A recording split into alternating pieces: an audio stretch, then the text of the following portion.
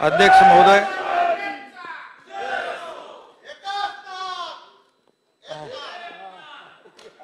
अध्यक्ष महोदय. आणि सभागृहातील सर्व सन्माननीय सदस्य.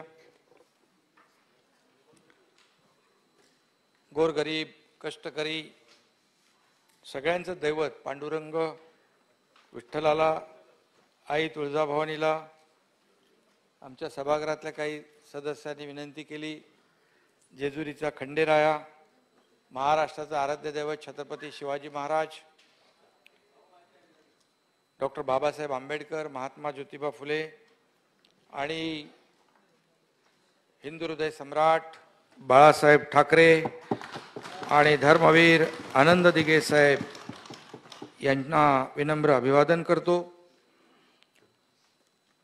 आणि महाराष्ट्रातील दीन दुबळे गोरगरीब समाजाच्या सर्व घटकांची आणि महाराष्ट्राची प्रगती हो अशी सुरुवातीलाच मी प्रार्थना करतो.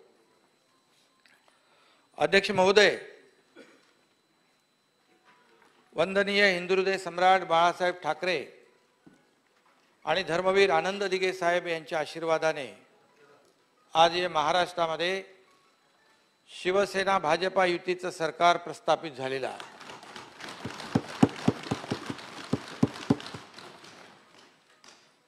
मी या प्रसंगी खास करून माझ्या सोबत गेले पंधरा वीस दिवस जे शिवसेनेचे चाळीस आमदार आणि सहयोगी पक्षाचे अपक्ष आमदार अकरा असे जवळपास पन्नास मला वाटतं एक आज वाढला ना. पन्नास आमदार. गेले पंधरा दिवस वीस दिवस सातत्याने माझ्यावर विश्वास ठेवून एवढा मोठा निर्णय त्यांनी घेण्याचं धाडस केलं त्यांचं मी मनापासून अभिनंदन करतो. त्यांना धन्यवाद देतो.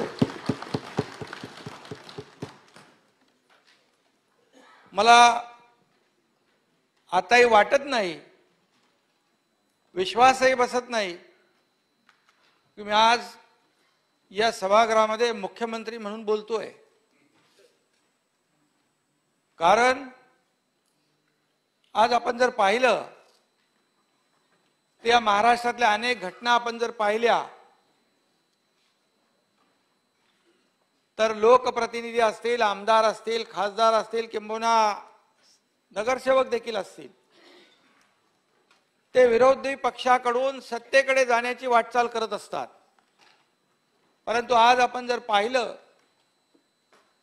ते जी काय ऐतिहासिक घटना जी आपण पाहतोय राज्य पाहतोय देश पाहतोय मला काल देवेंद्रजी म्हणाले की फक्त देश नाही तर ही घटना जी आहे ऐतिहासिक या घटनेची तेहतीस देशांनी नोंद घेतलेली आहे.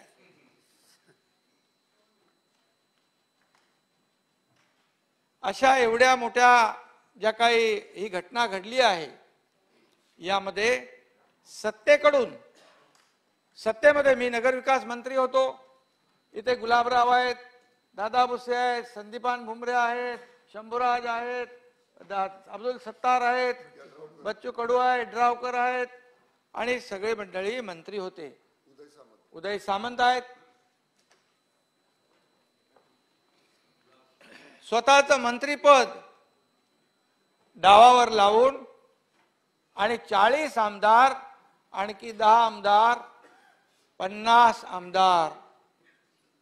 एकीकडे बलाढ्य असं सरकार त्या सरकारमध्ये समोर बसलेली मोठमोठी माणसं मोठमोठे मंत्री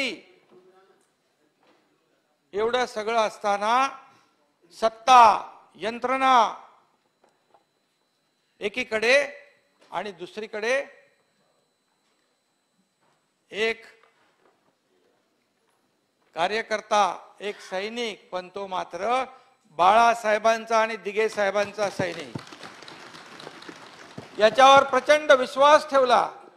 मला अभिमान आहे आमच्या पन्नास लोकांचा. जेव्हा आम्ही आमचं मिशन सुरू केलं त्या एकाने विचारलं नाही कुठे चाललोय? कशासाठी चाललोय? किती दिवस लागतील? काही विचारलं नाही. आपल्याला मी मुद्दाम माहिती म्हणून सांगतो की ज्या वेळेस विधान भवनातून आम्ही निघालो आदला दिवस मी डिस्टर्ब होतो. दुसऱ्या दिवशी ज्या दिवशी मतदान होतं त्या दिवशी जी काय मला वागणूक मिळाली ज्या पद्धतीने माझ्याशी जे वागण्याचा प्रयत्न झाला त्याचे साक्षीदार इकडे असलेले आमदार पण आहेत आणि समोर बसलेले आमदार पण आहेत. मी आपल्याला सांगू इच्छितो नम्रपणे मला काय झालं माहीत नाही. आणि बाळासाहेबांनी नेहमी सांगितलं होतं अन्याय विरुद्ध न्याय मागण्यासाठी आपण बंड असेल उठाव असेल काही असेल. आणि ते माझ्या त्यावेळेस मनामध्ये काय झालं मला माहीत नाही. माझे फोन धडाधड सुरू झाले आणि धडाधड लोक येऊ लागले. कुठे चाललोय काही चाललोय कुठे कशासाठी कुणी काही विचारलं नाही. जयंतराव अजितदादा. मुख्यमंत्री महोदयांचे देखील मला फोन होते सगळ्यांचे फोन होते. मी काही लपवू इच्छित नाही. मला विचारलं कुठे चाललात? मी मला माहीत नाही. कधी येणार? मला माहीत नाही. आणि आमच्या आमदारांना देखील फोन आले.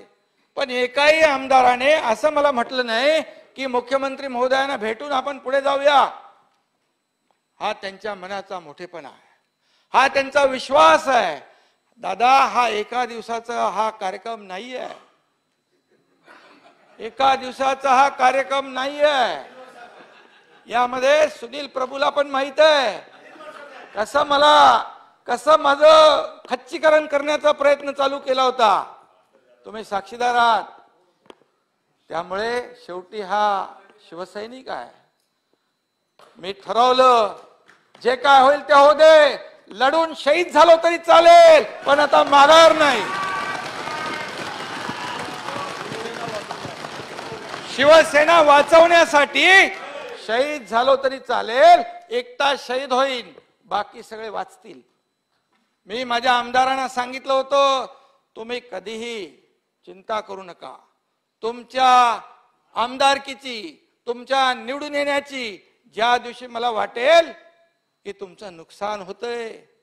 त्या दिवशी मी तुम्हाला सांगेन आणि तुमचं भवितव्य सुरक्षित करेन. आणि मी या जगाचा निरोप घेऊन कायमचा निघून जाईल हे माझ्या आमदारांना मी सांगितलं होतं. ही छोटी छोटी म्हणजे छोटी मोठी घटना नाहीये. एक ग्रामपंचायत सदस्य नगरसेवक पण इकडचं तिकडचं जायला हिंमत करत नाही. हे का झालं? हे कशासाठी झालं? का केलं? याचं मुळाशी आपण गेलं पाहिजे होतं. याचं कारण शोधायला पाहिजे होतं. नक्की आपल्याला एवढी दूषणं दिली एवढी बदनामी केली माझ्याकडे माणसं पाठवली चर्चेला आणि इकडे मला पदावरून काढून टाकलं गटनेता पदावरून. किती लोक? दहा पंधरा. तिकडे दुप्पट होते. बेकायदेशीर पण सगळं केलं एकीकडे चर्चा करायची दुसरीकडे काढून टाकायचं पुतळे जाळायला लावायचे घरावर दगडफेक करायचे आदेश द्यायचे. अरे एकनाथ शिंदेच्या घरावर दगड मारण्याची हिंमत अजून कोरणारा पैदा झालेला नाही. जितेंद्र आव्हाड यांना माहीत आहे माझ्यावर प्रेम करणारी माणसं किती आहेत? असे जसे मधमाशाचं मोळ उठत तसे मधमाशाचं मोळ उठून जे माझ्यावर हात चालवेल त्याला डसून संपून टाकणारे लोक.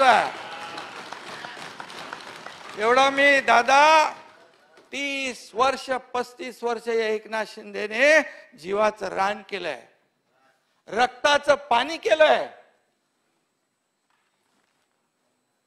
मी सतरा वर्षाचा होतो. बाळासाहेबांच्या विचारांनी मला वेड केलं. आणि त्या विचारांनी मी प्रभावित झालो आणि शिवसैनिक झालो. आणि एका प्रकरणामध्ये धर्मवीर आनंद दिगे साहेबांची माझी भेट झाली.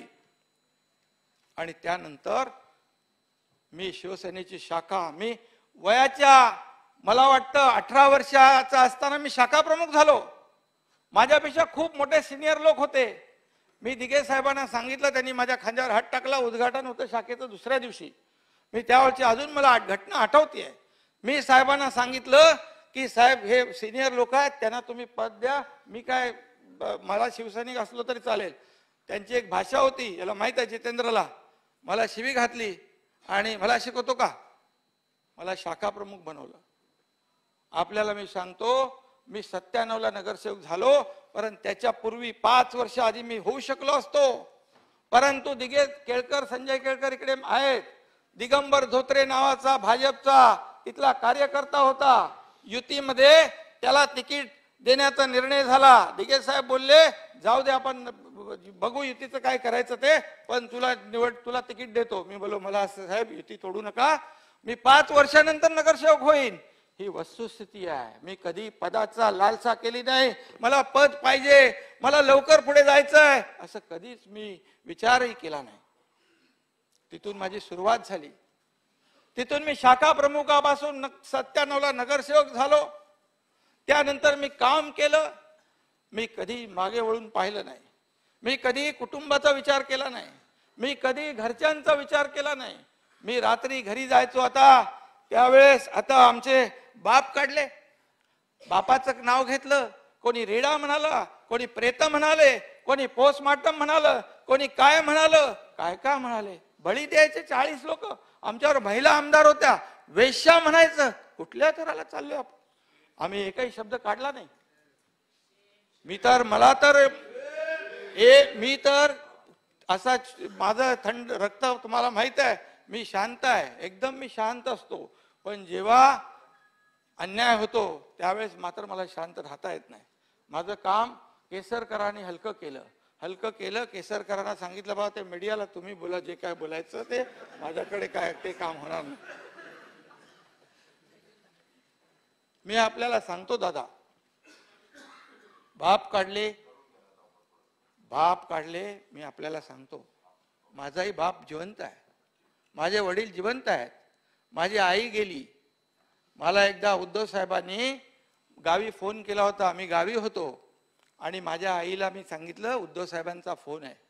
आई मी उद्धव साहेबांना सांगितलं आई आहे. तर फोन आईने घेतला. माझी आई साधी आहे साधी होती. फक्त आईने माझ्या सांगितलं उद्धव साहेबांना माझ्या बाळाला सांभाळा. उद्धव साहेब म्हणाले एवढा मोठा झाला तरी बघ तुला बाळच म्हणते. बोला त्यासाठी मी बाळच आहे. माझे वडील खूप कष्ट करून पुढे आलेत कष्ट करून मला त्यांनी इथपर्यंत आणले त्यांचे आशीर्वाद आहेत. पण आपल्याला मी सांगतो मी जेव्हा घरी जायचो तेव्हा माझे वडील आई झोपलेली असायची. मी जेव्हा उठायचो तेव्हा ते कामाला गेलेले असायचे. ही हे कधी आम्ही महिन्यातून पंधरा दिवसातून कधीतरी भेटलो तर भेटलो. तीच परिस्थिती माझ्या श्रीकांत बरोबर झाली. श्रीकांत डॉक्टर झाला.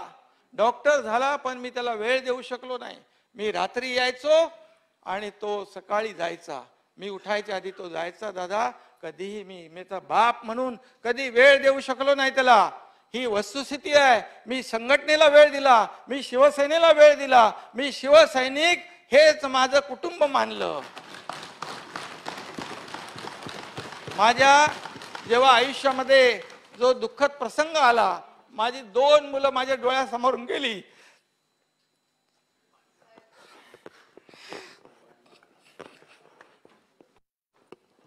त्यावेळेस मी आज त्यावेळेस मला आधार दिला. आनंद दिघे साहेबांनी. आनंद दिगे साहेबांनी मला आधार दिला.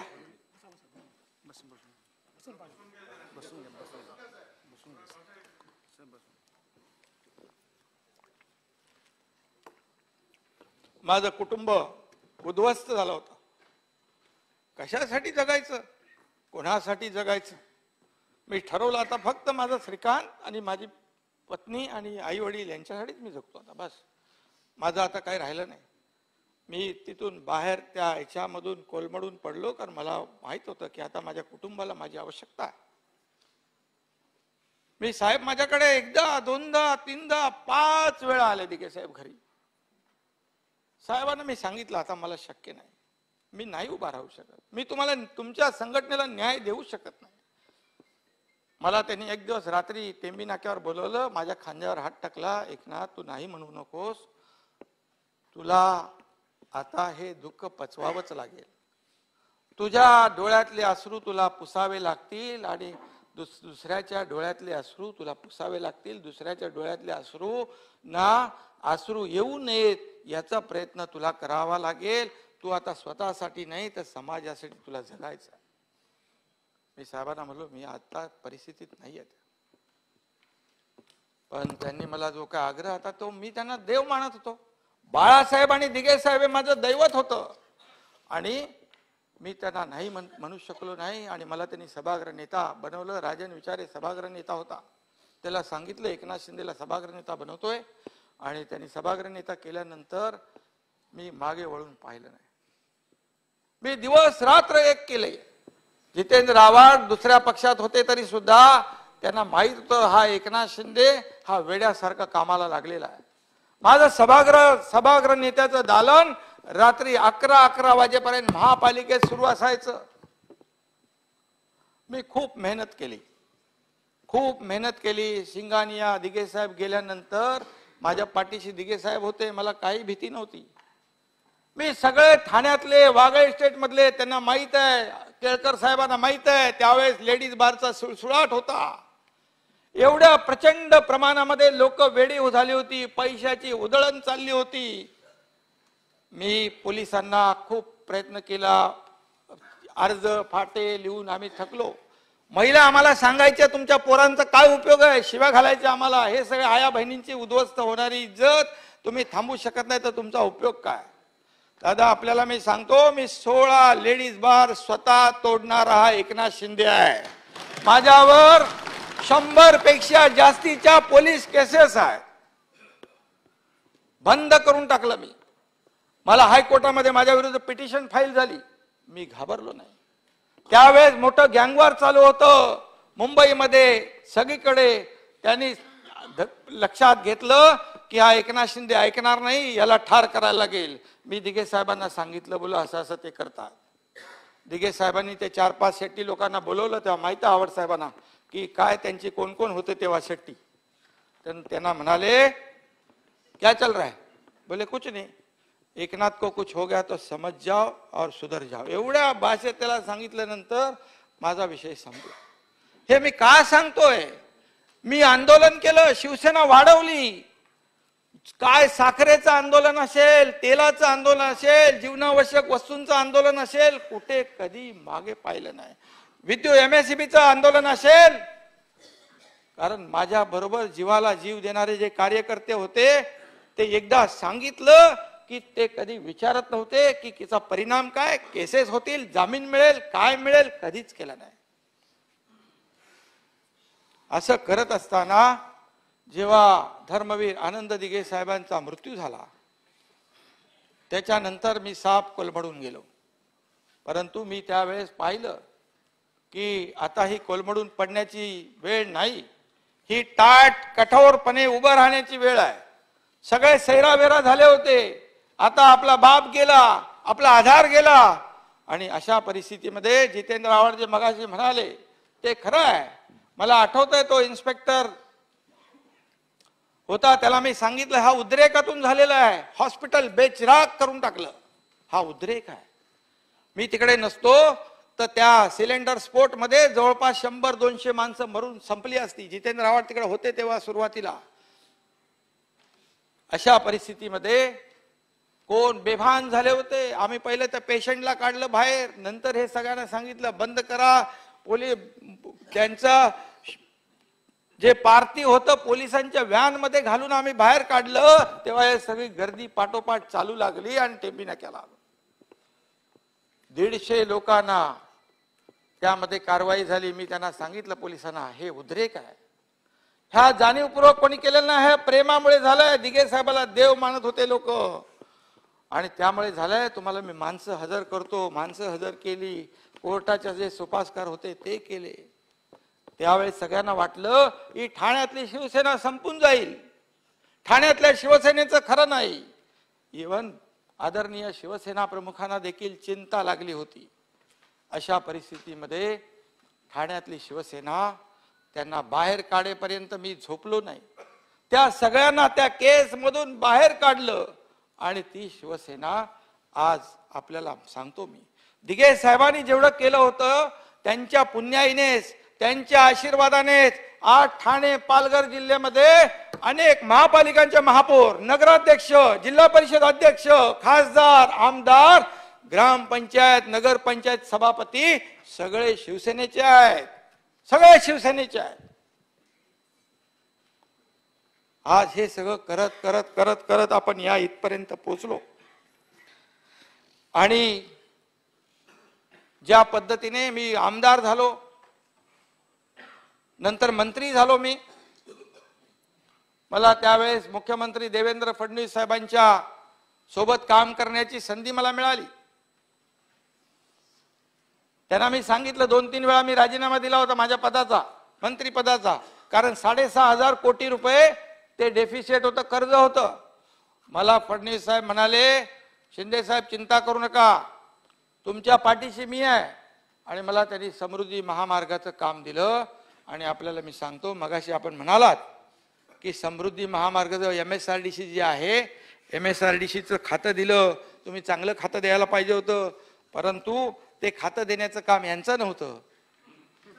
खातं देण्याचं काम यांचं नव्हतं परंतु त्यांनी खातं जे बुडीत झालं होतं त्याला ताकद दिली आणि समृद्धी महामार्ग आज पूर्णत्वास जातोय. आपल्याला दादा मी सांगतो मी स्वतः तिथे फिरलो. मला फडणवीस साहेब म्हणाले हा माझा ड्रीम प्रोजेक्ट आहे तुम्हाला करायचं आहे.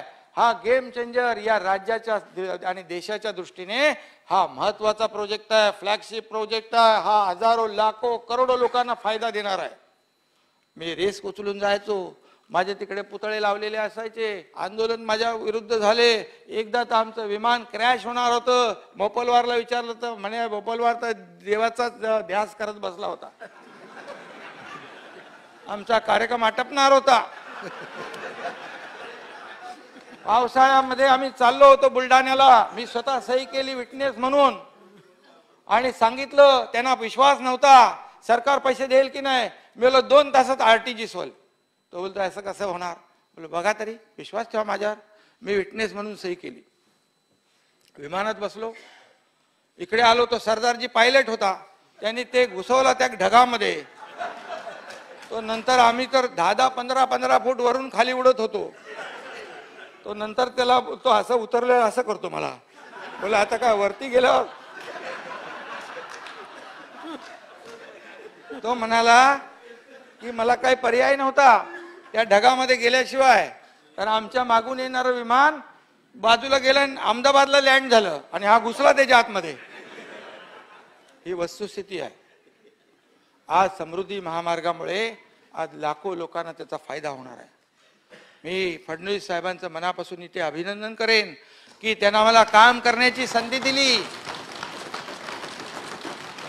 शिवसेनेला ते उपमुख्यमंत्री पद पण देणार होते. बरोबर आहे? भिवंडीच्या एका कार्यक्रमामध्ये गडकरी साहेब आले होते. मला फडणवीस साहेब म्हणाले आता एक चांगली जबाबदारी तुम्हाला भेटेल.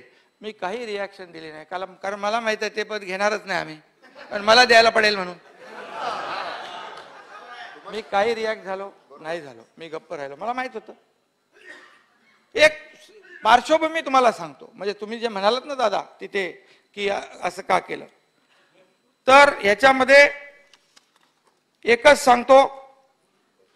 त्यानंतर हे मी पाच वर्ष काम केलं एम एस आर डी सीच्या माध्यमातून.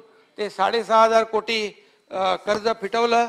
आता प्रॉफिटमध्ये आपण M S R D C आणले. त्याच्यामध्ये आणखी आम्ही ते वर बांद्रा कुठला वर्सोवा सिलिंग करतोय. आणखी पुणे रिंग रोड दादाच्या इकडचा पण करतोय. करणार दादा चिंता करू नका. तुम्ही तिकडे असले तरी करणार. तुम्ही आमचेच आहात.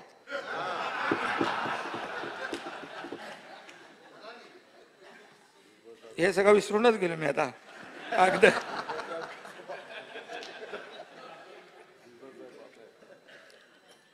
बघा आमच्यावर गद्दारीचा शिक्का. भास्करराव आम्ही गद्दार नाही. आणि तुम्ही नाही तुम्ही म्हटलं म्हणून नाही सांगत मी. तुम्हाला नाही म्हणालो.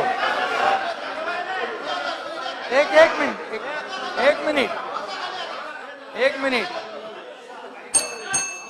भास्करराव बसा तुम्हाला नाही म्हणालो.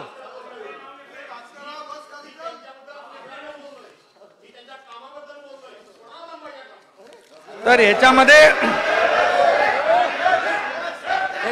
ए बसा. ए थांबा शांती. अरे भास्करराव पण शांत. आपलेच आहेत. ए बाबा बसा ना. भास्करराव. भास्करराव बसा. भास्करराव सन्मानाने भास्करराव बसा. सन्मानाने भास्करराव. सन्मानाने भास्करराव बसा. कृपया करून बसा. आज जो काय आम्ही जो निर्णय घेतलेला आहे हा निर्णय हे तर ठीक आहे. वैयक्तिक मला काही स्वार्थ नव्हता. तुम्हाला मी सगळ्यांना सांगतो दादांना पण माहीत आहे तो विषय.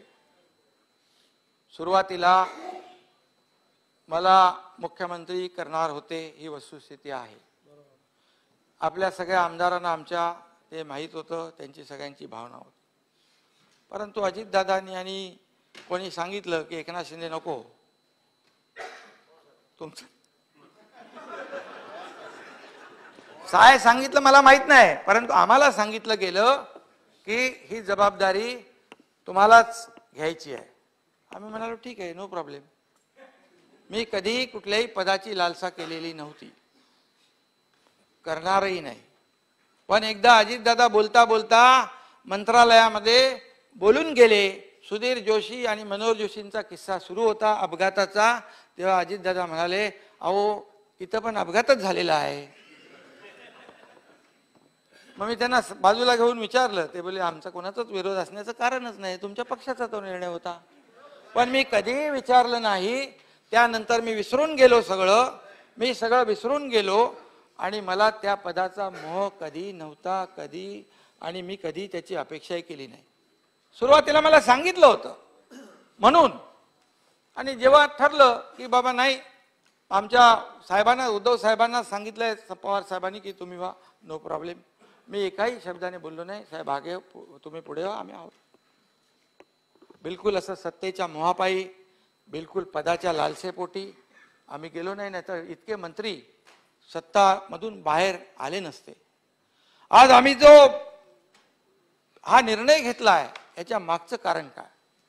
याच्या मागचं कारण ज्या पद्धतीने जे काही सुरू होतं कोणी वैयक्तिक हा दादा जयंतराव घेऊ नका. जे वैयक वैयक्तिक कोणी घेण्याची आवश्यकता नाही. आमदार जे निवडून आलेले आमदार आहेत त्यांच्या अस्तित्वाचा प्रश्न निर्माण झाला होता. अस्तित्वाचा प्रश्न निर्माण झाला होता पुढची निवडणूक जिंकू किंवा काय कसं होईल या सगळ्या विवंचनेत सगळे होते. आणि ते मला वारंवार सांगायचे आपली आपले नॅचरल अलायन्स भाजप बरोबर आहे. शिवसेना भाजप युती म्हणून आपण लढवलोय. आज बाळासाहेब आणि अटल बिहारी वाजपेयी आणि प्रमोदजींनी ही युती घडवली होती. आपण हे का करतोय? आपण याच्यातून दुरुस्ती करा. आपण उद्धव साहेबाला सांगा की हे चालणार नाही हे बन हे बदला. मी पाच वेळा हा प्रयत्न केला. पाच वेळा हा प्रयत्न केला. केसरकर त्याला साक्षीदार आहेत. परंतु आम्हाला यश मिळालं नाही. आम्हाला या- अपयश आलं त्याच्यामध्ये. आणि हे करत असताना जे पाच वर्ष जे अडीच वर्ष जी गेली त्या अडीच वर्षामध्ये जो काय अनुभव आला त्या अनुभवामध्ये आज सावरकरांच्या बद्दल बोलू शकत नाही. काँग्रेस बरोबर असल्यामुळे त्यांनी कुठल्या तरी याच्यामध्ये ले सावरकरांची बदनामी करण्याचं हे हे केलं सभागृहामध्ये आम्हाला गप्प राहावं लागलं. ज्या दाऊदने बॉम्बस्फोट केले या मुंबईमध्ये त्यांच्याशी ज्यांचं कनेक्शन झालं त्यांना त्यांच्यावर कारवाई करू शकलो नाही आम्ही. संभाजीनगर हे बाळासाहेबांनी संभाजीनगर नाव दिलं होतं ते आम्ही करू शकलो नाही. आता आम्ही जेव्हा हा निर्णय घेतल्यानंतर तो केला स्वागत आहे त्याचं आपण. स्वागत केलेलं आहे. हे सगळे जे काही बाळासाहेबांच्या हिंदुत्वाचे विचार जे बाळासाहेबांनी हे आपल्याला जे काही शिकवलंय जी काय त्यांनी शिकवण दिली जो काय त्यांचा त्यांची भूमिका होती आम्ही पहिल्या दिवसापासून सांगितलंय आम्ही वैयक्तिक स्वार्थासाठी इथे ही भूमिका घेतलेली नाही. आम्ही कालही शिवसैनिक होतो आजही शिवसैनिक आणि उद्याही शिवसैनिकच आहोत. बाळासाहेबांचे शिवसैनिक आहोत भिगे साहेबांचे शिवसैनिक आहोत. त्याच्या विचारांशी आम्ही कधी तडजोड करणार नाही केली नाही. कशासाठी करायचं? पदासाठी? कधीच आम्ही करणार नाही. आज आपण पाहिलं तर आपल्याला मी सांगतो कोणी वैयक्तिक घेण्याची आवश्यकता नाही. शिवसेना प्रमुखांचा सहा वर्षाचा मतदानाचा अधिकार कोणी काढला होता त्यावेळेस? आपल्याला माहीत आहे? एकोणीसशे सत्याऐंशीच्या विलेपार्लेच्या पोटनिवडणुकीमध्ये अ, रमेश प्रभू यांच्या प्रचारामध्ये बाळासाहेबांनी हिंदुत्वाचा पुकार केला होता. गर्व से कहो हम हिंदू आहे भुजबळ साहेबांना माहीत आहे ते. आणि मग त्यांना त्याच्या विरोधामध्ये एकोणीसशे नव्याण्णवपासून पुढील सहा वर्षापासून मतदानासाठी रोखलं. कोणी रोखलं? वाजपेयी सरकार होतं. इलेक्शन कमिशनने रोखलं. नाही नाही. तक्रार काँग्रेसने केली. भास्करराव. ओ भास्करराव. आणि यावेळेस बाबा बाळासाहेबांच्या हिंदू. तक्रार काँग्रेसने केली होती. तुम्हाला माहीत आहे. आणि अशा हिंदुत्वाला नेहमी विरोध करणाऱ्या पक्षाबरोबर आमदार म्हणाले कसं बसायचं? कसं बसायचं? बाळासाहेबांना अटकेचं नाही ते नंतर त्यांनी सुधरू सुधरून घेतलं ते. म्हणजे भुजबळ साहेब इकडे आहेत त्यांना माहीत आहे ते शिवसैनिक होते. तयारी केली होती परंतु ते करू शकले नाहीत. हे सगळं मी सांगतो याचं कारण काय? बाळासाहेबांनी मुंबई वाचवली दंगलीमध्ये बाळासाहेबांच्या आदेशाने सगळ्यांनी छातीचा कोट केला आणि मुंबई बेचराख होण्यापासून वाचवली. आणि त्यामध्ये आपण पाहिलं की म्हणजे आता मी मगाशी म्हणालो ते सगळी तयारी केली होती परंतु ते करू शकले नाही. सगळी तयारी निमलक्षरी दर हे ते सगळं आलं होतं. अशा परिस्थितीमध्ये देखील आपण कसं काय हे आमदारांचं म्हणणं आहे. सगळ्या. आणि आम्ही कुठला अजेंडा घेतलाय? बाळासाहेबांच्या हिंदुत्वाचा आणि दिघे साहेबांच्या ज्वलंत जी हिंदुत्वाची शिकवण दिली त्याचा घेतलाय. विकासाचा घेतलाय. या म- पन्नास लोकांच्या मतदारसंघातली विकास कामं जर झाली नाहीत ते ना कोण मतदान करणार? आणि या राज्याचा विकास जो आहे राज्याचा विकास देखील ज्या प्र पद्धतीने व्हायला पाहिजे होता दादांना मी धन्यवाद देतो. ते तर सकाळी सातला आठलाच याच्या मंत्रालयामध्ये. मंत्रालयामध्ये त्यांच्या बैठका सुरू होत्या. माझ्या डिपार्टमेंटच्या पण बैठका ते घ्यायचे तरी मी त्यांना कधी विरोध केला नाही. केला का विरोध? मी कधी बोललो? नाही. कारण ते काम करत होता माणूस. आठशे कोटी घेतले पण तरी नाही बोललो मी काय. पण दादांची माझी अंडरस्टँडिंग होती. ते मला म्हणायचे एकनाथराव मलाही निधी द्यायचा आहे. माझ्याकडे आमदार येतात पदाधिकारी येतात. मी म्हणालो बघा एकदा मी तुम्हाला त्यांना तुमचं नोटिंग दाखवलं मी. तुम्ही एक नोटिंग केलं होतं सुधीर भाऊ आणि आपलं होतं ते. तर तेही दाखवलं मी. तरी मी बोललो तसं मी नाही करणार. आपण तुम्हालाही तिकडे कार्यकर्त्यांना सांभाळायचं आहे. पण नंतर तुम्ही पॅरल नगर विकास विभागाचा हेड का केला?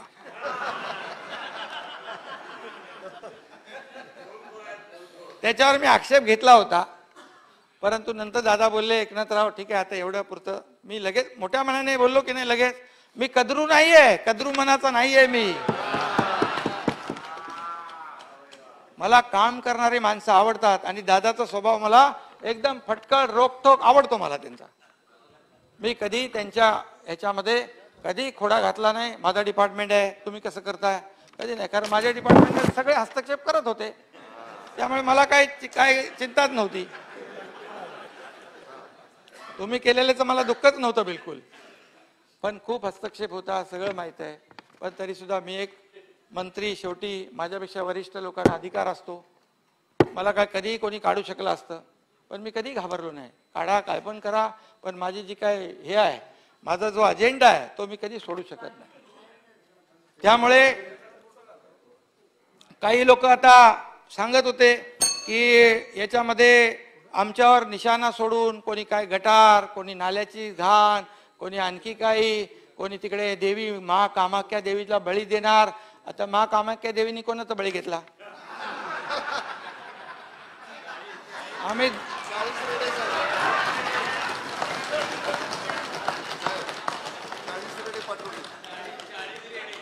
चाळीस रेडे पाठवले पण मा कामाख्या बोलली जो बोललाय तो रेडा आम्हाला नको.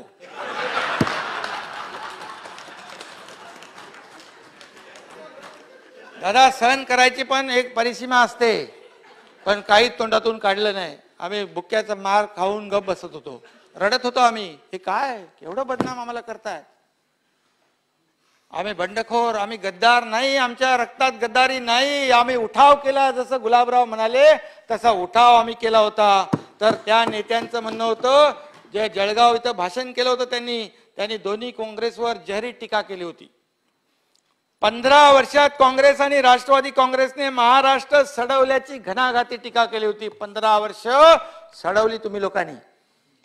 मी नाही म्हणत आहे. आणि यापुढे जर त्यांच्या हातात सत्ता दिली तर काय होईल? महाराष्ट्राचं राहिलं सुरलं वाटोळ होऊन जाईल. आता सांगा तुम्ही आम्ही मग कसं बसणार तुमच्याबरोबर?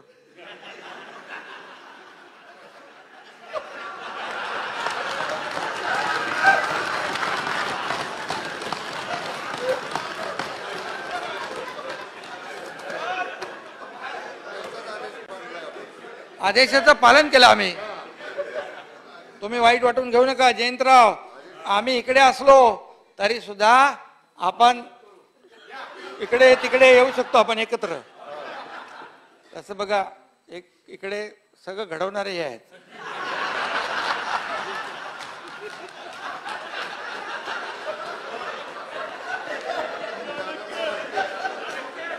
कधी काय काय करतील कधी काय काय करतील माहीत नाही. अरे लोकसभा आपल्या राज्यसभेच्या दोन उमेदवार होते.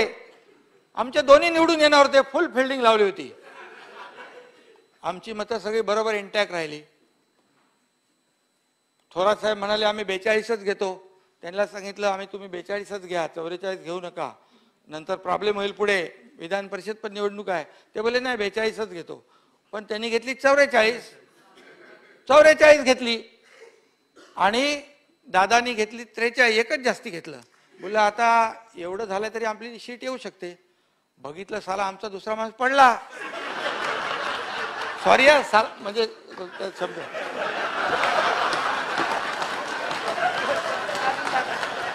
शब्द शब्द मागे घेतो.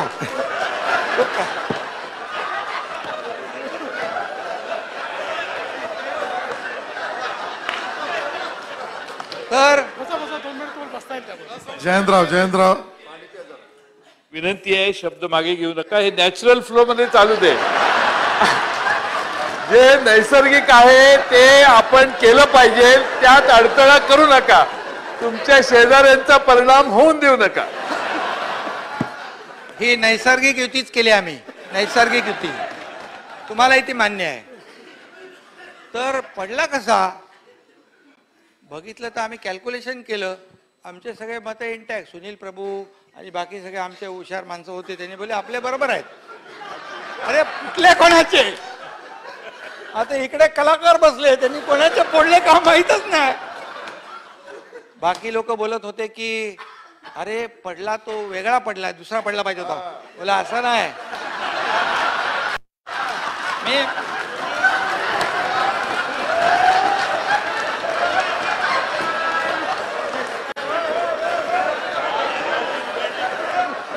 पण पण मी म्हणालो मी म्हणालो दोन्ही खासदार आपले निवडून येण्याचं गणित आपल्याकडे होतं.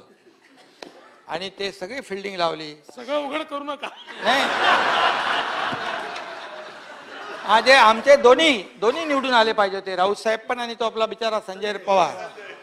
पण दुर्दैवाने ते गडबड झाली. दुसऱ्या वेळेस पण दुसऱ्या दिवशी विधान परिषदची निवडणूक होती. आता त्याच्यातून मला बाहेरच काढून टाकलं होतं बाजूला टाकलं बोले हा जाऊ दे बाजूला हा काय कामाचा नाही. बरं त्या आधीच्या संजय पवारला पण मी तीन मतं एक्स्ट्रा बाहेरून आणली. तीन मतं माझ्या ओळखीने. बरोबर आहे? आणि ते तुम्ही बघितली पण. म्हणजे अनिल परबानी बघितली तुम्ही बघितली सुनील प्रभूंनी पण बघितली. बघितलं ना बाबा? बघितलं. कारण ते मार्किंग दिलं होतं त्यांना आपण वेगळं. आमच्या सगळ्या आमदारांपेक्षा वेगळं. तर त्याच्यानंतर विधान परिषदेमध्ये सगळे लोक बोलले काय करायचं? बोलले बघा दोन्ही आपले शिवसेनेचे निवडून आले पाहिजे त्याच्यामध्ये कॉम्प्रोमाइज होता कामा नये. बिलकुल. कारण मी गद्दार नाही आहे दादा. माझ्या ध्यानीमनी माझ्या रक्तामध्ये कधी येणार नाही झोप. मी कधी झोपेत असलो तरी सुद्धा काय दिलंय रे? ते काय? अरे ते निधी वाटप नको संपला विषय.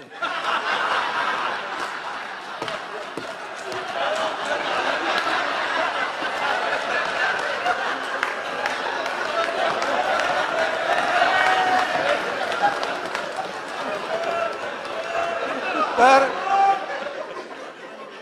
थोडं अरे माझे बघा फ्लो तुटला मग गडबड होईल.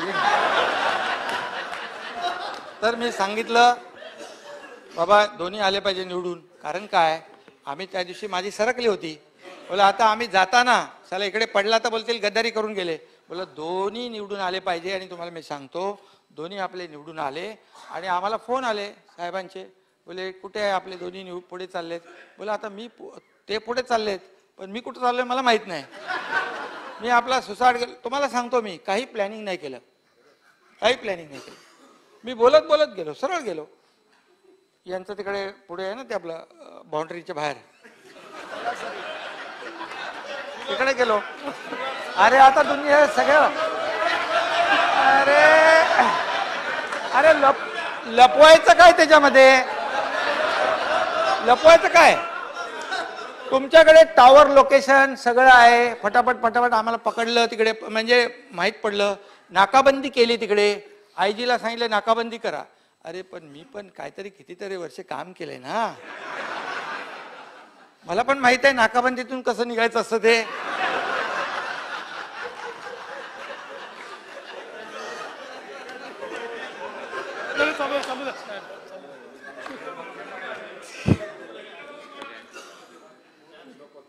त्यामुळे बघा हा? तुम्ही आता माझ्याकडून सगळं काढून परत काय? ते ते खाजगीमध्ये सांगेन नाही तर मग तुम्ही पण तसं कराल मग.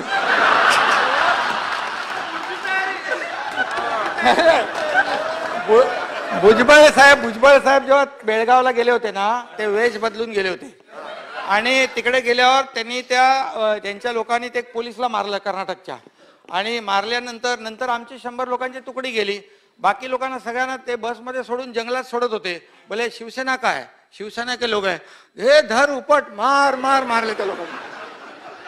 आणि डायरेक्ट जेलमध्ये टाकलं बेल्लारी. शंभर लोक आम्ही चाळीस दिवस आत जेलमध्ये. यांच्यामुळे भुजबळ साहेबांमुळे.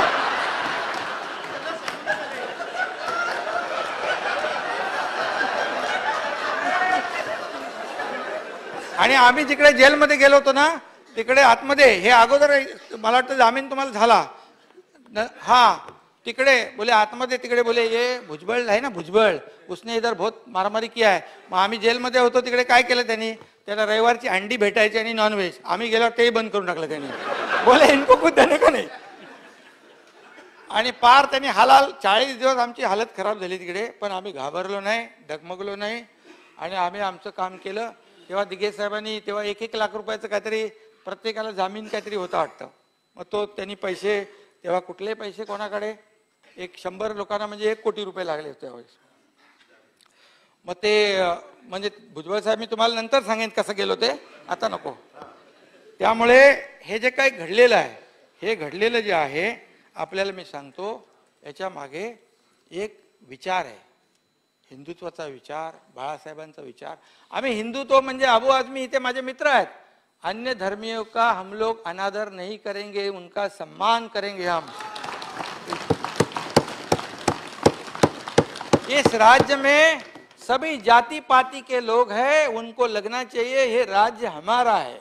ये आम जनता का राज्य है. ये पब्लिक का राज्य है. ऐसा हम लोग करेंगे. और मेरे साथ तो बड़े बुजुर्ग अनुभवी तजुर्बे वाले आदमी है इधर बैठे।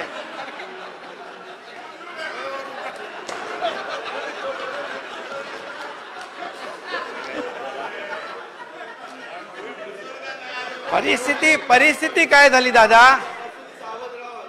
नाही नाही काय नाही आमचं ट्युनिंग बरोबर आहे. अहो दादा एक मिनिट तुम्ही एक लक्षात घ्या. ते जेव्हा पत्रकार परिषद घेतली फडणवीस साहेबांनी तिथे बाजूला मी उभा होतो. बरं हे काय ते काय मला आणि त्यांना माहीत होतं काय होणार आहे ते. बरोबर ना? आमचे सगळे आमदार लोक टांगलेला जीव होता. काय होत आहे एक नंबर एक नंबर एक नंबर करत होते. मुला अरे थांबा थांबा. ते ते सगळा मोठा पक्ष आहे तो. आपण छोटे लोक आहे त्यांच्यासमोर आणि तिथे मोदी साहेब ते तर जगाला त्यांनी आपल्या काबूमध्ये करून ठेवले. आपण तर छोटे छोटे लोक आहे बोललो. तर बोले दादा शांत राहा बोललो. प्रेमाने सगळं होईल. त्यांना तर माहीत होतं काय होणार आहे. मग प्रेस कॉन्फरन्समध्ये त्यांनी सांगितलं एकच शपथविधी होईल. बरोबर ना? एकच शपथविधी होईल. आणि ते खुश होते कारण त्यांना काय माहीत होतं ना सगळं. काय करायचं ते? कारण आम्ही विचार कुठला घेतला आहे बाळासाहेबांच्या हिंदुत्वाचा. दुसरं काही घेतलंच नाही. त्यांचा आणि अजेंडा आमचा सेम आहे. उलट आता त्यांचे एकशे पंधरा आणि आमचे पन्नास. एकशे किती झाले? पासष्ट. आता तुम्हाला सांगतो दादा तुम्ही मगाशी म्हणाले की तुम्ही गेले ते निवडून येणार नाहीत. पण आम्ही कुठे गेलो आहे जे पूर्वी गेले ते विरुद्ध पक्षात गेले. जे हिंदुत्वाचा ज्यांनी विरोध केला त्या पक्षाकडे गेले. आम्ही ज्यांनी हिंदुत्वाचा पुरस्कार केलाय तिकडे आम्ही गेलोय. त्यामुळे त्यामुळे तुम्हाला मी सांगतो दादा एकशे पासष्ट नाही. आम्ही दोघं मिळून दोनशे लोक निवडून आणणार. आमच्या लोकांना मी सांगितलं त्यांना सांगितलं अरे काय होईल? उद्या चिन्ह काय भेटणार? अरे बोल सोडा सगळं आपण शिवसेना आहे. शिवसैनिक आहोत. जिथे लात मारू तिथून पाणी काढू. तुम्ही काळजी करू नका. पन्नास मधला एकही माणूस मी पडू देणार नाही. आणि आणि भाजपचे जे लोक आहेत जे एकशे पंधरा आम्ही दोघं मिळून दोनशे करणार. हा शब्द आहे या सभागृहामध्ये. आणि ते नाही केलं तर आम्ही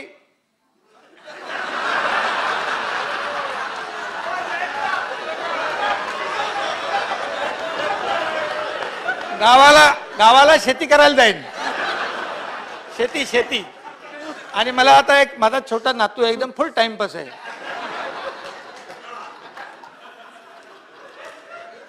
माझी ती संपत्ती आहे.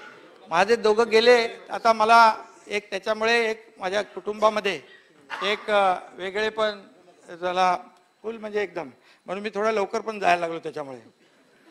तर हा ही वैचारिक लढाई आहे. ही स्वार्थाची लढाई नाही. म्हणून आम्हाला फार असं हे असं म्हणजे आता बघा बाळासाहेबांचं एक विच एक हे होतं बघा. बाळासाहेबांनी काय म्हटलं होतं? शिवसेना कधी काँग्रेस राष्ट्रवादीला बरोबर घेऊन सरकार बनवणार नाही. ज्यांनी वाजपेयी सरकार पाडलं त्या राष्ट्रवादी आणि काँग्रेस जे कोणी असतील? त्यांना कधीच जवळ घेणं असं बाळासाहेब मी नाही म्हटलं भुजबळ साहेबाला माहीत आहे ते होतं तेव्हा तिकडे. काँग्रेस राष्ट्रवादी आमचा शत्रू आहे शत्रूच राहील. मी आहे म्हणून शिवसेना आहे. जेव्हा मी नसेन तेव्हा शिवसेनेची काँग्रेस झालेली असेल. मी शिवसेनेची काँग्रेस बनवून देणार नाही. जेव्हा असं वाटेल असं होत आहे तेव्हा मी माझं दुकान बंद करीन. हे बाळासाहेबांचे शब्द आहेत. हे बाळासाहेबांचे शब्द आहेत. त्यामुळे मी आपल्याला सांगतो की आम्ही कुठलाही असा वेगळा विचार केलेला नाही. आम्ही शिवसेना आहोत. टू थर्ड मेजॉरिटी मध्ये आम्ही होतो आज. फॉर्टी कुठे गेला तो एक माणूस आपला? आहे संतोष बांगर. त्याला मी बोलवलं नाही. त्यांनी मला फोन केला. मला फोन करायला घाबरत होता तो. बोले अरे कसं बोलणार? तर मग सांगू का?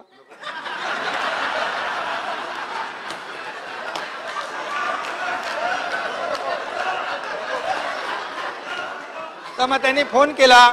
रा, रात्री दीड वाजता दीड वाजता फोन केला. तर फोन केला. नाही तसं काय चोरी लपण्यासारखं काय नाही. ते म्हणाले मला यायचं आहे. माझी चूक झालेली आहे. आणखी तीन चार लोक आहेत. त्यांचंही मत असंच आहे. मी बोललो बघ असं खोटं आपल्याला काही करायचं नाही. आम्ही तिकडे होतो. ते बोलत होते दहा आमच्या संपर्कात. चार आमच्या संपर्कात पंधरा आमच्या संपर्कात वीस आमच्या संपर्कात. मी बोललो नावं तर सांगा. मी पाठवून देतो परत. कारण नितीन देशमुखला मी पाठवलं. कुठे आहे का गेला तो?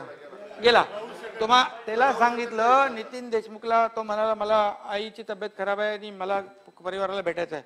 मी त्याला दोन कार्यकर्ते दिले आणि त्याला सुखरूप पाठवला. स्पेशल विमान करून पाठवलं. बोललो जा बाबा तुला असं जोर जबरदस्ती मी ठेवणार नाही. बरं जोर जबरदस्ती कसं करणार? मी सुरुवातीला गेलो तेव्हा माझ्याकडे एकोणतीस तीस लोक होते. नंतर वीस लोक आले ना मागून. त्याला कसं जबरदस्ती मी क- त्याला का बंदूक लावून आणलंय? ते स्वतःच्या मर्जीने आले. एका विचाराने ते आलेत. त्यांनी ठरवलं की आता आपल्याला आपण जे सुरुवातीला अडीच वर्षापूर्वी चूक केली ती आपण दुरुस्त करूया. आपण एकत्र लढलो निवडणूक शिवसेना आणि भारतीय जनता पक्ष. पण तिकडे जेव्हा तुम्ही दादा म्हणालात की यांचे एकशे वीस पंधरा असताना तुम्हाला कसं दिलं? शिवसेनेला कसं दिलं? एकनाथ शिंदेला कसं दिलं? पण मग तुम्ही शंभर होते मग आमचे छप्पन होते मग तुम्ही आम्हाला कसं दिलं?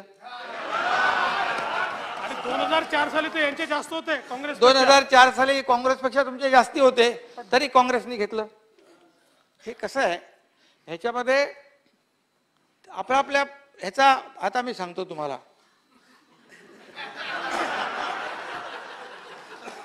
आम्ही पन्नास लोक फक्त.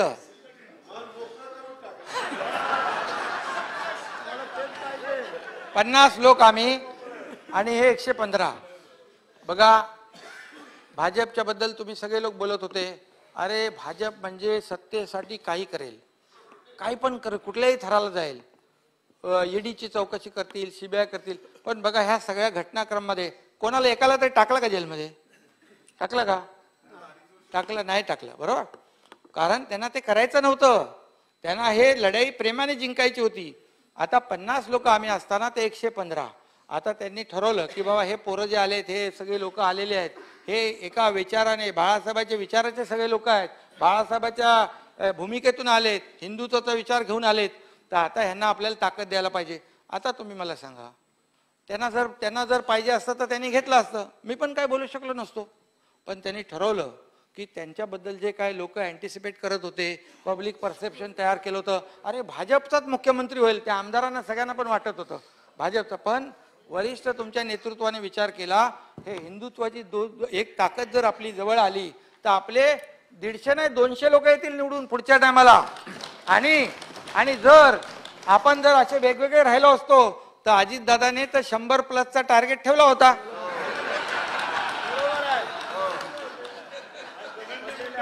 आणि जयंत पाटील तर सगळे बोलत होते जिकडे सभेला जात होते तिकडे बोलले पुढचा आमदार राष्ट्रवादीचाच होणार. त्यामुळे आमचे सगळे आमचे सगळे चलबी चलवत होते. बोले अरे काय आघाडीत आहे आपण कशात आहे? बोले पुढचा आमदार त्यांचाच होणार. बोले होऊ शकतो ना त्यांचा. अरे बाबा आमदार म्हणजे मुख्यमंत्री तो नंतर ना शंभर झाल्यावरच मुख्यमंत्री होणार ना. मग शंभरचं टार्गेट त्यांनी फायनल केलं होतं. बरोबर? काही ठिकाणी जयंतराव सांगायचे तुम्ही शिवसेनेमध्ये आपलं एन सी पीमध्ये या. आता आमचे काही पोरं बघा ते जयंत चंद्रकांत पाटील कुठे आहे रे? तिकडे. ते जे तालुका प्रमुख उपाध्यक्ष उपजिल्हा प्रमुख आता पण ते खडसेंच्या भीतीने आणि पोलिसांच्या भीतीने सहा महिने बाहेर बाहेर वांटेड आहेत. आता त्यांना मी सांगितलंय आता मी मुख्यमंत्री आहे आणि देवेंद्रजी माझ्या सोबत सोबत आहेत त्यामुळे तुला चिंता करायची नाही. ये लवकर ये. आणि सांगली तो आहेच रे. तर ते सांगलीचा माणूस बघा जे- जयंतराव सांगलीचा अनिल बाबर त्रस्त आहेतच पण ते माहीत आहे जयंतरावांना. एक आमच्या माणसाला मोक्का लावला बरोबर? एक तो पोरगा त्याचा काय संबंध नव्हता. तडीपारी केली सगळं केलं मारणारा माणूस वेगळा पण त्याला टाकला आतमध्ये. मी सांगितलं आमच्या वरिष्ठांना परंतु डीजीने सांगितलं ते असं आहे तसं आहे तसं आता फक्त मी असतो तर मी काय सांगितलं असतं? बाबा हा कार्यकर्ता हा निर्दोष आहे त्याला याच्यामधून निर्दोष आहे त्याला बिलकुल दोषी धरू नकोस. आणि उलटा मला रिपोर्टिंग कर ते फाईल रद्द करून. बरोबर? अशीच पद्धत आहे ना? हे गृहमंत्री होते गृहमंत्री. निर्दोष.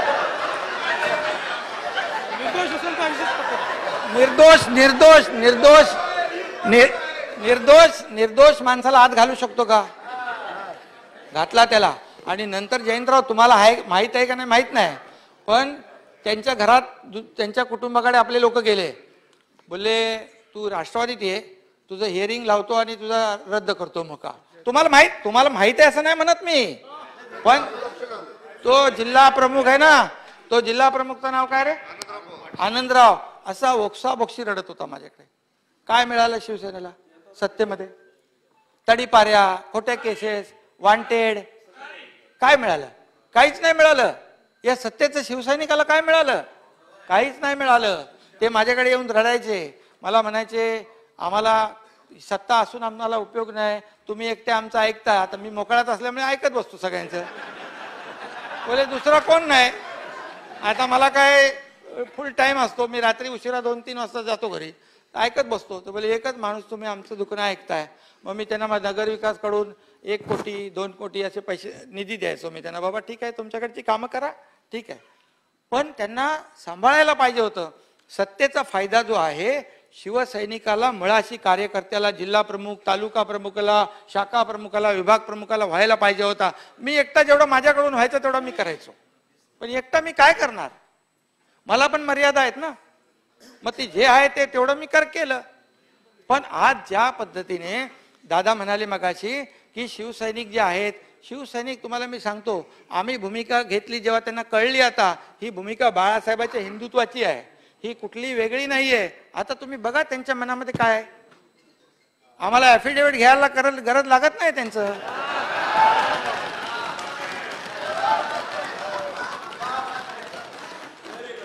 तुम्हाला मी सांगतो की बिलकुल ते मनाने आमच्या बरोबर आहेत. मी अजून तो प्रयत्न केला नाही कारण तुम्ही आम्हाला याच्यात अडकवून ठेवले. रोज कोर्टामध्ये जाता. आज साडेनऊला पण कोर्टात तुमचे माणसं गेले. दिल्लीच्या सुप्रीममध्ये.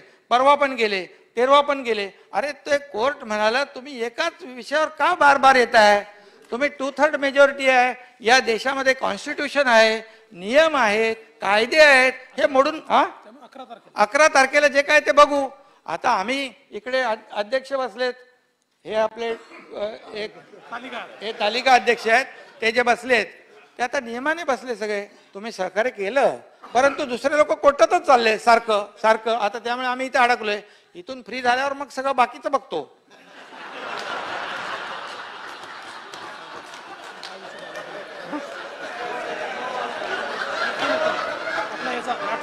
हा हा. तर ह्याच्यामध्ये ओ आवाड साहेब त्यांना काय सांगू नका तुम्ही. तर गमतीचा भाग आहे. तर याच्यामध्ये मिळालं काय? दादा आम्ही तुम्हाला एकच म्हणजे आमचं एवढंच म्हणणं होतं की सत्तेचा फायदा जो आहे हा तळागाळातल्या शिवसैनिकाला झाला पाहिजे. कारण उद्धव साहेब मुख्यमंत्री आहेत. उद्धव साहेब मुख्यमंत्री आहेत तर साहजिक आहे अपेक्षा आहे. शेतकऱ्यांना अपेक्षा आहे कष्टकऱ्यांना अपेक्षा आहे आमच्या तळागाळातल्या शिवसैनिकांना अपेक्षा आहे आज परिस्थिती काय आहे? त्याला स्वतःच्या पायावर उभं करायला हे सरकारमध्ये सत मुख्यमंत्री असताना सत्ता असताना नाही करू शकत मग कधी करणार पण मी आपल्याला सांगतो जेवढे शिवसैनिक आहेत या महाराष्ट्रातले जे पदाधिकारी आहेत हे सरकार जे आहे युतीचं सरकार आहे हे बाळासाहेबांच्या नावाचं सरकार आहे याच्या माध्यमातून त्यांच्या जीवनामध्ये आमूलाग्र बदल घडवल्याशिवाय आम्ही राहणार नाही. बिलकुल जेवढं काय त्यांना आपल्याला मदत करता येईल त्या त्या माध्यमातून मदत करू. तसा आमचा शिवसैनिक खंबीर असतो सक्षम असतो तो कधी कधी घाबरत नाही. त्याला एकदा भूमिका आता ठीक आहे. रोज तुम्ही आमच्याबद्दल काय काय सांगाल? गद्दार गद्दार. आता काय पोस्टर बिस्टर आमचे काय जाळून झालेत? आता काय जाळत नाही कोण? संपले ना? त्यामुळे आम्ही कुठेही काय त्याच्यावर कुठे ऍक्शन रिॲक्शन दिली नाही. शेवटी बघा आम्ही पन्नास लोक आहेत प्रत्येक ठिकाणी एक प्रत्येक जण एक एक दीड दीड सत्तर सत्तर ऐंशी ऐंशी हजार मतं घेऊन निवडून आलेला आहे. आणि प्रत्येकाकडे स्वतःचे हजार दोन हजार लोक आहेत. स- कार्यकर्ते आहेत. दबंग आहेत सगळे. पण आम्ही ते शस्त्र बाहेर काढलं नाही. कोणाशी लढायचं? भास्करराव कधी रक्तपात होऊ देणार नाही. एवढं लक्षात ठेवा. आणि आम्ही शिवसैनिक आहोत. आणि बाळासाहेबांचे शिवसैनिक आहोत. परंतु एक मर्यादा मर्यादेपेक्षा जास्ती टॉलरेट पण करता येत नाही सहन करता येत नाही. हे मी आपल्याला सांगतो. मी मुख्यमंत्री आहे म्हणून माझ्या कधी डोक्यामध्ये कधी हा विचार येणार नाही हा विचार येणार नाही. मी अजून पण आमच्या लोकांना सांगतो अरे मी मुख्यमंत्री झालोय की नाही मला माहीतच नाही अजून. मी त्यांना सांगितलंय तुम्ही पन्नास लोक आहे ना सगळेच मुख्यमंत्री आहात. आणि आता उरलेले आमचे एकशे पंधरा हे पण मुख्यमंत्री. कारण त्यांचा हक्काचा माणूस आलेला आहे. ते माझ्याकडे पत्र घेऊन येतात. ते म्हणतात याच्यावर लिहा. म्हणजे लिहायचं नाही. फोन करतो लगेच डायरेक्ट कलेक्टरला चलो त्यांचं हे काम करून टाका. विषय संपला. हे लिकापडी बिकापडी बंद. त्याला टाइम लागतो.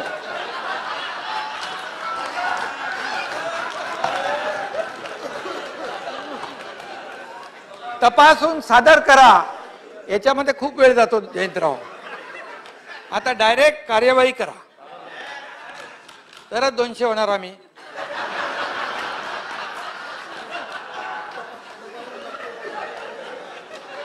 त्यामुळे सिस्टीम आपल्याला बदलायला लागेल. या सत्तेचा वापर सर्वसामान्य माणसाला झाला पाहिजे. शेवटच्या घटकापर्यंत या योजना पोचल्या पाहिजेत. तुम्ही दो जलसंपदा खातं तुमचं एकदम चांगलं आहे. ते आता काय का कुठे रखडले ते सांगा तेही आपण पूर्ण करू. काही प्रॉब्लेम नाही. तुम्ही जे सांगाल ते करू. भुजबळ साहेबाचं पण काय?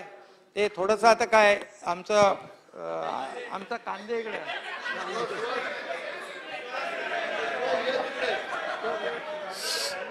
सुहास कांदेला आपण सांभाळूया. त्याला टेन्शन घेऊ देऊया नको. शेवटी काय लोकांचंच काम करायचं ना आपल्याला? कोणाचं आपलं पर्सनल काम आहे? आणि मला तर काय वैयक्तिक स्वार्थ नाहीच आहे. मी काय कधी माड्या बांधल्या मोठे फाईव्ह स्टार हॉटेल बांधले किंवा काय प्रॉपर्टी घेतली माझं काहीच नाही आहे आहे का हो आवड साहेब? काय माझं काय आहे का? त्यामुळे मी आपल्याला एकच सांगतो. याच्यामध्ये अजितदादा मगाशी म्हणाले त्या बाबतीमध्ये मी सगळं नीट हे केलं. पण अजितदादा ज्या पद्धतीने बोलत होते पहिलं पण एकदा तुम्ही बोलले शिवसैनिक असा करतो तर रस्त्यावर उतरतो. म्हणजे शिवसैनिकांची निष्ठा जी आहे तुम्ही बरोबर सांगितली पण कधी शिवसेनेची भूमिका धोरण सोडून जर दुसरीकडे गेले तर तो पकडतो आपल्याला. पण तुम्ही जसं असं म्हणजे बोलत होता की तुम्ही एकदम कट्टर चाळीस वर्षाचे शिवसैनिक आहात. असंच तुम्ही बोलत होता आता.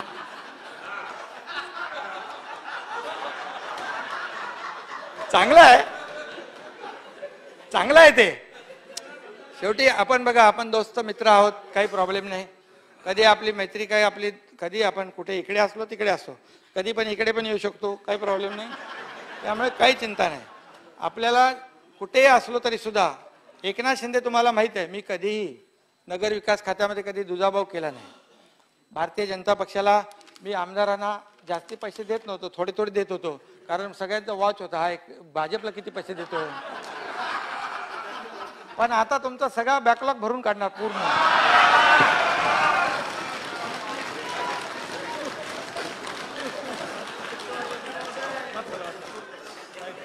त्यामुळे तो काही ती काही अडचण नाही. पण जर कागद जास्ती झाले ती कागद जाऊ दे. हा.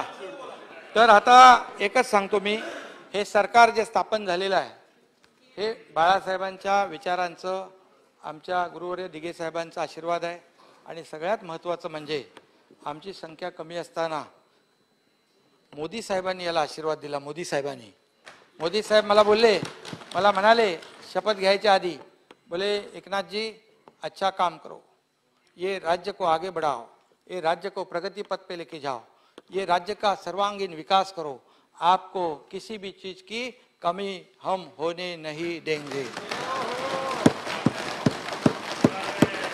अमित शाह म्हणाले अमित शाह साहेब की म्हणाले ये हम लोग तो पुराने मित्र है। शिवसेना, भाजपा, युति पहले से है। आप चिंता मत करो, आपके पीछे हम चट्टान की तरह खड़े हैं।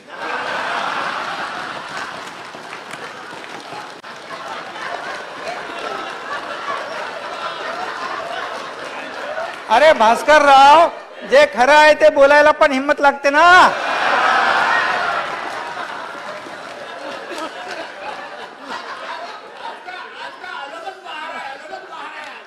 अंदर से अंदर की आवाज आहे भारतीय जनता पक्षाचे अध्यक्ष जे पी नड्डा साहेब तेही पाठीशी आहेत. त्यांना मी धन्यवाद दिलेत आताही देतो. आणि सगळ्यात महत्वाचं म्हणजे सगळ्यात मोठे कलाकार आहेत. आम्ही कधी भेटायचो ते आमच्या लोकांना कळायचं नाही. सगळे झोपल्यावर मी जायचो सगळे उठायचे आधी मी परत जायचो.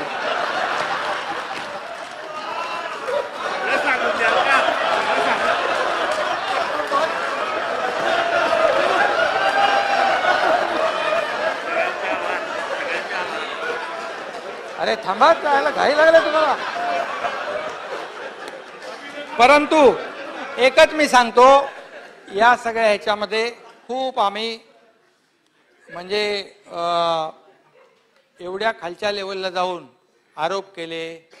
अगदी म्हणजे कोणाला काय टपरीवाला कोण चहावाला कोण भाजीवाला कोण रिक्षावाला काय काय म्हणाले. पण आम्ही ती पातळी सोडली नाही. शेवटी आपल्याला मी सांगतो सोन्याचा चमचा घेऊन आम्ही जन्माला आलेलो नाही. आमच्या मागे कुठली राजकीय पार्श्वभूमी नसताना आज एवढा इतिहास घडलेला आहे. का सर्वसामान्य माणूस मुख्यमंत्री नाही होऊ शकत? हे सरकार कोणासाठी आहे? हे साध्या साध्या सगळ्यांसाठी आहे टपरीवाल्यासाठी आहे कष्टकऱ्यासाठी आहे शेतकऱ्यासाठी आहे रिक्षावाल्यासाठी आहे कुठल्या सगळ्या सगळ्या भाजीवाल्यासाठी आहे सगळ्यांसाठी आहे. हे सरकार सर्वसामान्यांचं सरकार आहे हे प्रत्येकाला वाटेल. हे माझं सरकार आहे. तुम्ही असं आम्हाला हिनवताय?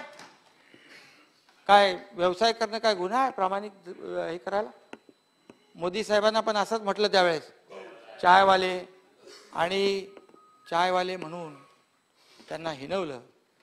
ती पार्टी आता संपत चालली की नाही ज्यांनी हिनवलं ते? आहे का बाकी आता? पार्टी आहे का? आता चालत संपत चालली ना ती. म्हणजे मोदी साहेबांच्या विरुद्ध जो बोलतो त्याला जनता त्याचा हिसाब किताब बरोबर करून टाकते.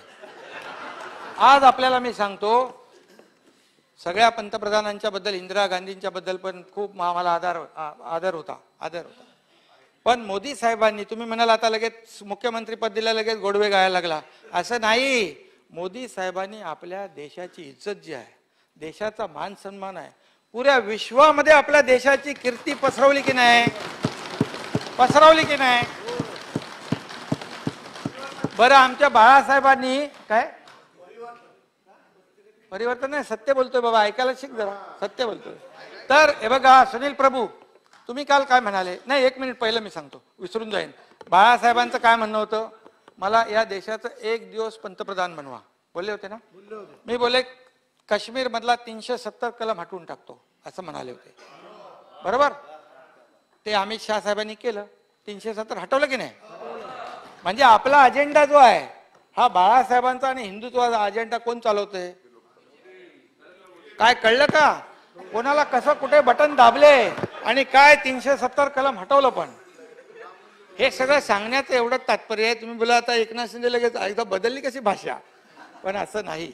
जे वस्तुस्थिती आहे किंवा मला मर्यादा होत्या बोलायच्या. तसं अमित शहा साहेबाची आणि माझी थोडी अगोदरपासून थोडी ओळख होती. त्यांनी मला एकदा म्हटलं होतं त्यावेळेस तुम्हाला दोन हजार चौदा वेळेस बोले अरे जे आप लोग बार बार हारे हुए सीट है ना जो वो तो एक्सचेंज कराओ. उद्धव जी को बताओ दस लोक लोग लेके जाके और उनको जो बार बार हारती आहे सीट वो तो चेंज करो. तेव्हा म्हणाले होते मला. तर हे सगळं जे आहे हे सांगण्याचं तात्पर्य एवढंच आहे. सुनील प्रभू काल काय म्हणाले की त्यांना दुःख झालं मी इकडे बसलो ते. ते म्हणाले हे इकडे बसायला पाहिजे होते. पण जेव्हा ते बसत होते तेव्हा विरोध कोणी केला त्यांना? अरे आपल्या पक्षाने केलं ना असं काय करतात आपल्या पक्षाने केलं ना? अरे ज्या वेळेस युतीचं सरकार दोन हजार एकोणीस ला बनत होतं त्यावेळेस देवेंद्रजीच मुख्यमंत्री बनणार होते. तेव्हा हेच बनणार होते मुख्यमंत्री. आणि त्यामुळे ऐका ऐका. त्यामुळे बाकी आता मी मला वाटतं बस झालं ना आपलं. नंतर कधीतरी आपण उरलेलं बोलूया. तर आपल्याला मी सांगतो असं जरी असलं किती शक्ती ताकद सगळ्या गोष्टी आणि स्थिर सरकार जे आमचं एकशे सत्तर ते आणखी वाढत राहील संख्याबळ. तरी वाढलं तरी सुद्धा आपण एक लक्षात ठेवा हे सरकार सूड बुद्धीने काम करणार नाही. आकस बुद्धीने काम करणार नाही. तुम्ही घेतलेले निर्णय सरसकट आम्ही बदलणार नाही. ज्याच्यामध्ये चुकीचं काही झालं असेल अनावश्यक काही गोष्टी घडल्या असतील तेवढ्यापुरतं आम्ही दोघं जण देवेंद्रजींनी आम्ही दोघं बसून त्याच्यावर ठरवू. पण एक कुठल्याही पद्धतीने आमच्या डोक्यामध्ये गची बाधा कधी येणार नाही. आम्ही जे कार्यकर्ते आहोत ते कार्यकर्तेच राहणार आहोत. त्यामुळे आपण विरोधी पक्ष म्हणून असं कधी मनाला आवडसाहेब वाटून घेऊ नका की काही आमच्याकडून तुमच्यावर चुकीचं काम होईल बिलकुल होणार नाही. आणि जे आहे सर्वसामान्य लोकांना न्याय देणारं सरकार या राज्याचा सर्वांगीण विकास करणारं सरकार या ठिकाणी जे मेट्रो प्रकल्प असतील समृद्धी हायवे असेल पुणे रिंग रोड असेल मुंबई गोवा हायवे असेल हे सगळे जे काही प्रकल्प आहेत हे सगळे प्रकल्प जे आहेत हे मार्गी आपण लावू या राज्याला प्रगतीपथाकडे घेऊन जाऊ केंद्राची आपण मदत घेऊ आणि या राज्याचा सुजलाम सुफलाम करू आपण आपल्याला मी एवढंच सांगतो. मला वाटतं आपण सगळ्यांनी मिळून आता जे काय आहे ॲक्सेप्ट केलं पाहिजे. शेवटी लोकशाहीमध्ये नंबर्स आणि बहुमताला महत्त्व असतं. इकडे बहुमत कालही बघितलं आपण. आजही बघितलं कालच्या मध्ये एक आणखी भर पडली. असं भर पडत पडत जाईल. पण तुम्ही कबूल केलं पाहिजे ॲक्सेप्ट केलं पाहिजे की बाबा हे बहुमताचं सरकार आहे. आमच्याकडून चुकीचं कधी काही होणार नाही. एवढी आपल्याला मी खात्री या ठिकाणी देतो. आणि आपल्याला ते कुठे गेलं? हां.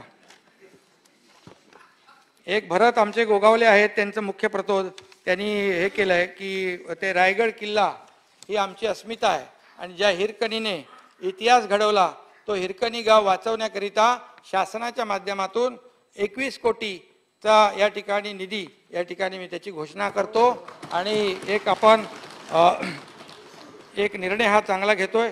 त्याचबरोबर जागतिक बाजारपेठेमध्ये तेलाच्या किमती वाढल्यावर माननीय प्रधानमंत्री महोदयांनी केंद्रीय कर कमी केला होता.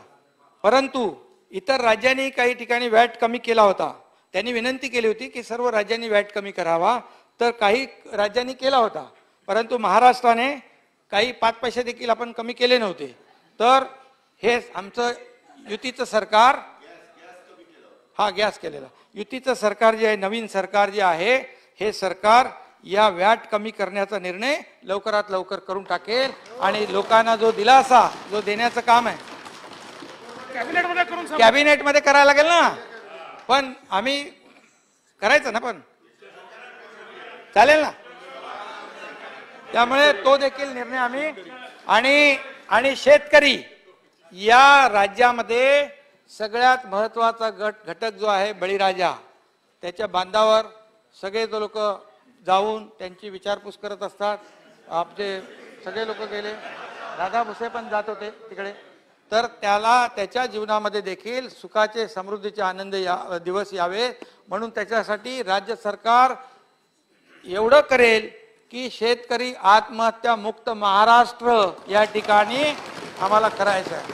त्यासाठी विरोधी पक्षाचं सगळ्यांचं योगदान सहकार्य या ठिकाणी आम्हाला लागेल. आपण दोघंही मिळून सत्ताधारी आणि विरोधी पक्ष हातात हात घालून आपण काम करूया. दादा तुमची माझी मैत्री आहे जयंतरावाची पण आहे भुजबळ साहेब तर आमचेच होते पहिले. आणि ते आवडतं तो आपलाच माणूस आहे. त्यामुळे सगळे नाना पटोले काय आपले बाबा आहेत सगळे बाळासाहेब थोरात आहेत सगळ्यांचं मी नाव घेत नाही. टोपे साहेब हा? टोप देतो ना ते लगेच करतो. टोपे टोपे साहेब आहेत आता ग्रामविकासनी मला पण मदत केली आहे ना. आणि आमचे उपाध्यक्षांनी पण खूप मदत केली आम्हाला. सगळ्या म्हणजे नियमानुसार कामकाज चालवलं. त्यामुळे सगळ्यांचा मी आभारी आहे. आमच्या शिवसेना पक्षाचे आमदार आहेत त्यांचाही मी आभार आहे. अपक्ष आमदार जे आहेत आता त्यांची नावं घेत नाही. आप्पा आहेत इथे आप्पा आहेत बच्चू कडू आहे आणि जोरगेवार वगैरे सगळे सगळे आशिष आहे. भोंड जो- हा भोंडेकर आहे. क्षितिज आहे क्षितिज आहे. सगळे ठा- हा, राजेश आहे. सगळ्या अपक्षांचं सहयोगी पक्षांचं तुम्हाला मी सांगतो आप्पा तुम्ही जे म्हणालात आता तुम्हाला इथून पुढे शिकायत का मौका नाही मिलेगा.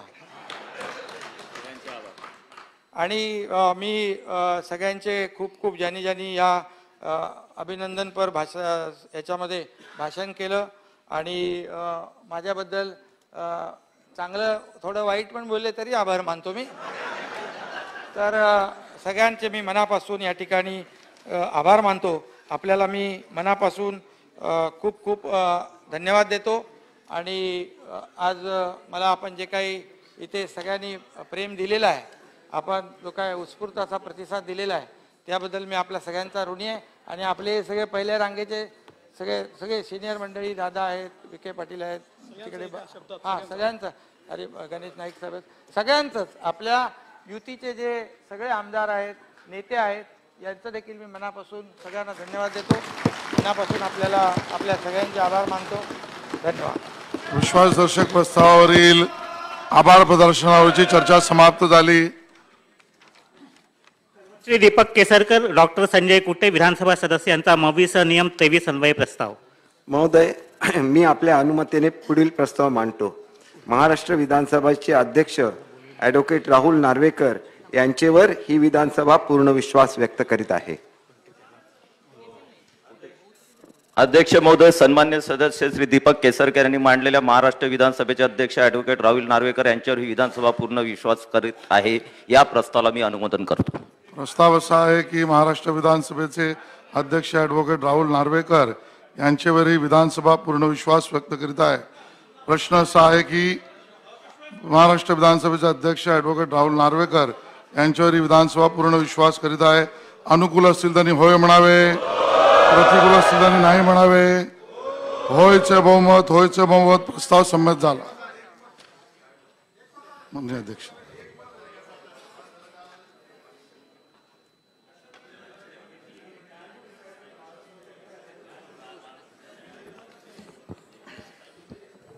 विरोधी पक्षनेत्यांच्या नियुक्तीबाबत घोषणा.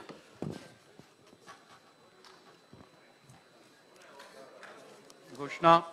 मला महाराष्ट्र विधिमंडळ राष्ट्रवादी काँग्रेस या पक्षाचे नेते श्री जयंत पाटील विधानसभा सदस्य यांनी त्यांच्या दिनांक चार जुलै दोन हजार बावीस रोजीच्या पत्राद्वारे श्री अजित पवार विधानसभा सदस्य यांची विधानसभेच्या विरोधी पक्षनेतेपदी नियुक्ती करण्यात यावी अशी विनंती केली आहे. महाराष्ट्र विधिमंडळ राष्ट्रवादी काँग्रेस पक्ष हा सभागृहात अधिकृत विरोधी पक्ष म्हणून मान्यता देण्याकरिता घालून देण्यात आलेल्या निष्कर्ष पूर्ण करीत असल्यामुळे मी या पक्षास महाराष्ट्र विधानसभेतील अधिकृत विरोधी पक्ष म्हणून मान्यता देत आहे.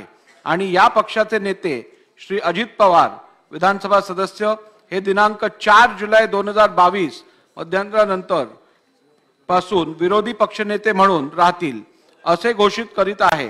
विरोधी पक्षातल्या नियमाप्रमाणे उपलब्ध असणाऱ्या सेवा सवलती त्यांना मिळतील. श्री अजित पवार विधानसभा सदस्य यांनी आता विरोधी पक्ष नेत्याचे स्थान ग्रहण करावे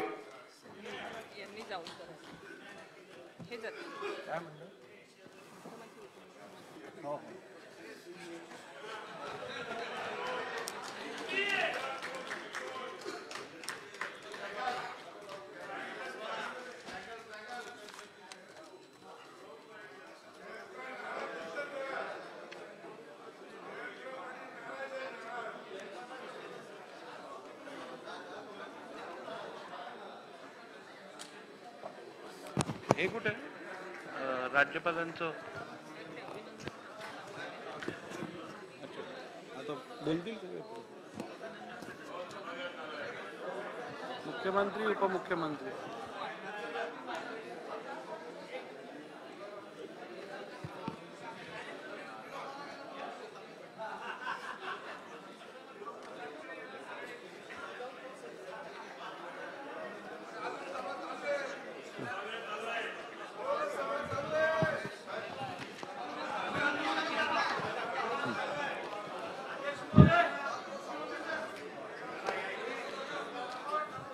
वेळ झाला असल्यामुळे सभागृहाच्या वतीने सन्मान्य उपमुख्यमंत्री सन्मान्य मुख्यमंत्री बोलतील.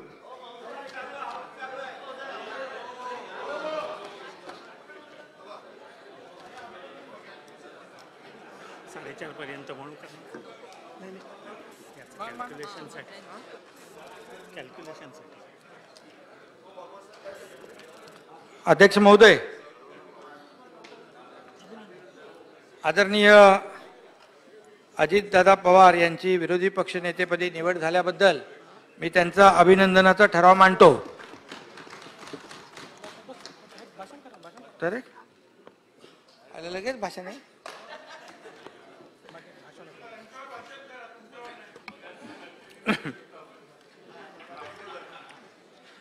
आता दादांच्या बद्दल तर आधी इथं बोलून झालंय माझं म्हणजे थोडंच बोलतो आता. एक अतिशय या सभागृहाचा ज्यांना अनुभव आहे. आणि कधी कुठेही या सभागृहामध्ये बोलत असताना त्यांच्याकडून कुठेही कुठेही शब्द इकडचा तिकडचा कधी होत नाही. असे अत्यंत अनुभवी विरोधी पक्षनेते म्हणून ज्यांची निवड झालेली आहे. ते अजितदादांचं मी मनापासून पुन्हा एकदा अभिनंदन करतो आपल्या सगळ्यांच्या वतीने. एकोणीसशे एक्क्याण्णवपासून सक्रिय राजकारणात ते खासदार म्हणून आधी निवडून आले.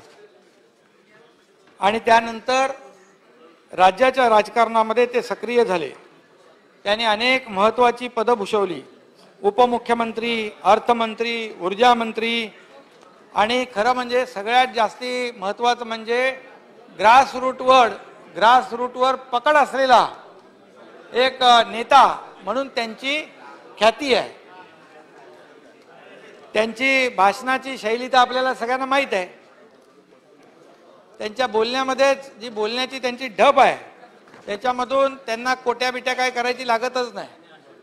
अशा प्रकारचं एक व्यक्तिमत्व आज विरोधी पक्ष नेते म्हणून या ठिकाणी त्यांची नियुक्ती झालेली आहे.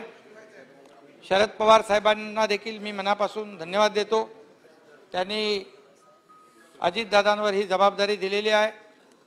हे सभागृह सत्ताधारी आणि विरोधी पक्ष या लोकशाहीमध्ये या सभागृहामध्ये या लोकशाहीच्या पवित्र मंदिरामध्ये सत्ताधारी पक्षा एवढाच. विरोधी पक्ष नेत्याचा देखील मान सन्मान आदर ठेवावाच लागतो आणि तो नक्की आमच्याकडून ठेवला जाईल हे या ठिकाणी मी आपल्याला सांगू इच्छितो. विरोधी पक्षनेता हा जनतेची न्याय्य बाजू सभागृहात व सभागृहाबाहेर हिरिरीने मांडणारा नेता असतो. विरोधी पक्ष नेता हा सत्तारूपी हत्तीवर अंकुश ठेवणारा एक प्रकारचा माहूत असतो. विरोधी पक्ष हा सत्ताधीशांच्या कारभारावर वॉचडॉग सारखा लक्ष ठेवून जनतेची पाठराखण करणारा असतो. परंतु आजची परिस्थिती अगदी वेगळी आहे. काल परवापर्यंत सत्तेत असलेली मंडळी आज विरोधी पक्षात आहे. त्यामुळे डबल अनुभव आहे. त्यामुळे काम करणं आणखी सोपं जाईल जयंतराव. तर विरोधी बाकावरील काही मंडळी सत्तेवर आरोढ झालेली तर काल परवापर्यंत सत्तेत असलेली मंडळी सत्तांतर होऊन पुनर्सत्तेत सहभागी झालेलं चित्र देखील आपण या ठिकाणी पाहतोय. लोकशाहीचा परिणाम आणि दुर्मिळ या सगळ्या गोष्टी या सभागृहामध्ये पाहायला मिळत आहेत अजितदादा राष्ट्रवादी काँग्रेसचे अध्यक्ष शरद पवार यांचे ते आता त्यांना माहीत नाही ते म्हणजे ते लिहिले ते. आता ते माहीत आहे ना सगळ्यांना शरद पवार साहेबांचे अजितदादा कोण आहेत?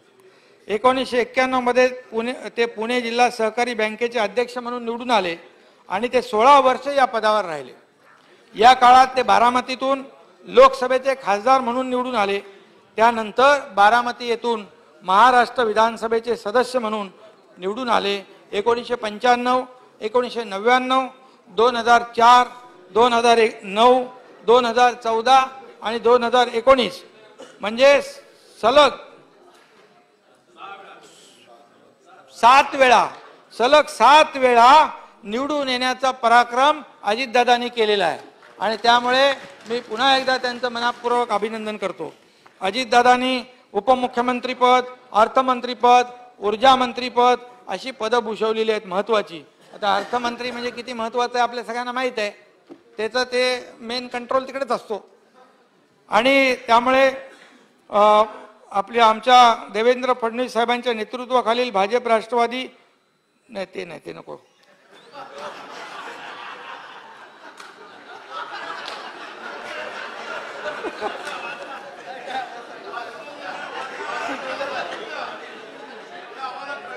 वय- वयाच्या एकवीसव्या वर्षी अजितदादांनी राजकारणात प्रवेश केला. रचनात्मक आणि विधायक कार्यासाठी जनलोकामध्ये ते सुप्रसिद्ध आहेत. प्रसिद्ध आहेत. स्वच्छता टापटीप नीटनेटकी राहणी यामुळे ते सदाबहार तरुणांच्या उमेदीने वावरताना दिसतात. हा तरुणांना देखील हेवा वाटावा असं त्यांचं व्यक्तिमत्व आहे पर्सनॅलिटी आहे. अजित पवार दादा हे हजर जबाबी रोखोक स्वभावाबाबत प्रसिद्ध आहेत. त्या त्याचा त्यांना फायदा पण होतो कधी तोटा पण होतो. पण त्याचा स्वभाव काय त्यांनी सोडत नाहीत कधी. म्हणजे ते एक शिस्तप्रिय आहेत. आणि याचा अनुभव आपण सगळ्यांनी घेतलेला आहे. त्यांच्याकडे बैठक असली की मी पण वेळेवरच जातो. आणि जायचं नसेल तर त्यांना सांगतो मी बाबा दुसऱ्या कामात आहे. पण उशिरा जायचं मी टाळतो. कारण शेवटी उपमुख्यमंत्री आमचे होते ते. आणि मी त्यांच्या मंत्रिमंडळातला एक नगरविकास मंत्री होतो. त्यामुळे शिस्त आपण जर बिघडवली तर बाकी कसे ठेवणार? त्यामुळे मी देखील ती शिस्त पाळत होतो. त्यांच्या बाबतीमध्ये इस्लामपूरच्या एका समारंभामध्ये आर आर पाटील साहेबांनी तंबाखू खाऊन कुठे तुंकणाऱ्या आबांना आम्ही परदेशात नेत नाही असे सुन अरे ते नको कोण आहे रे हा?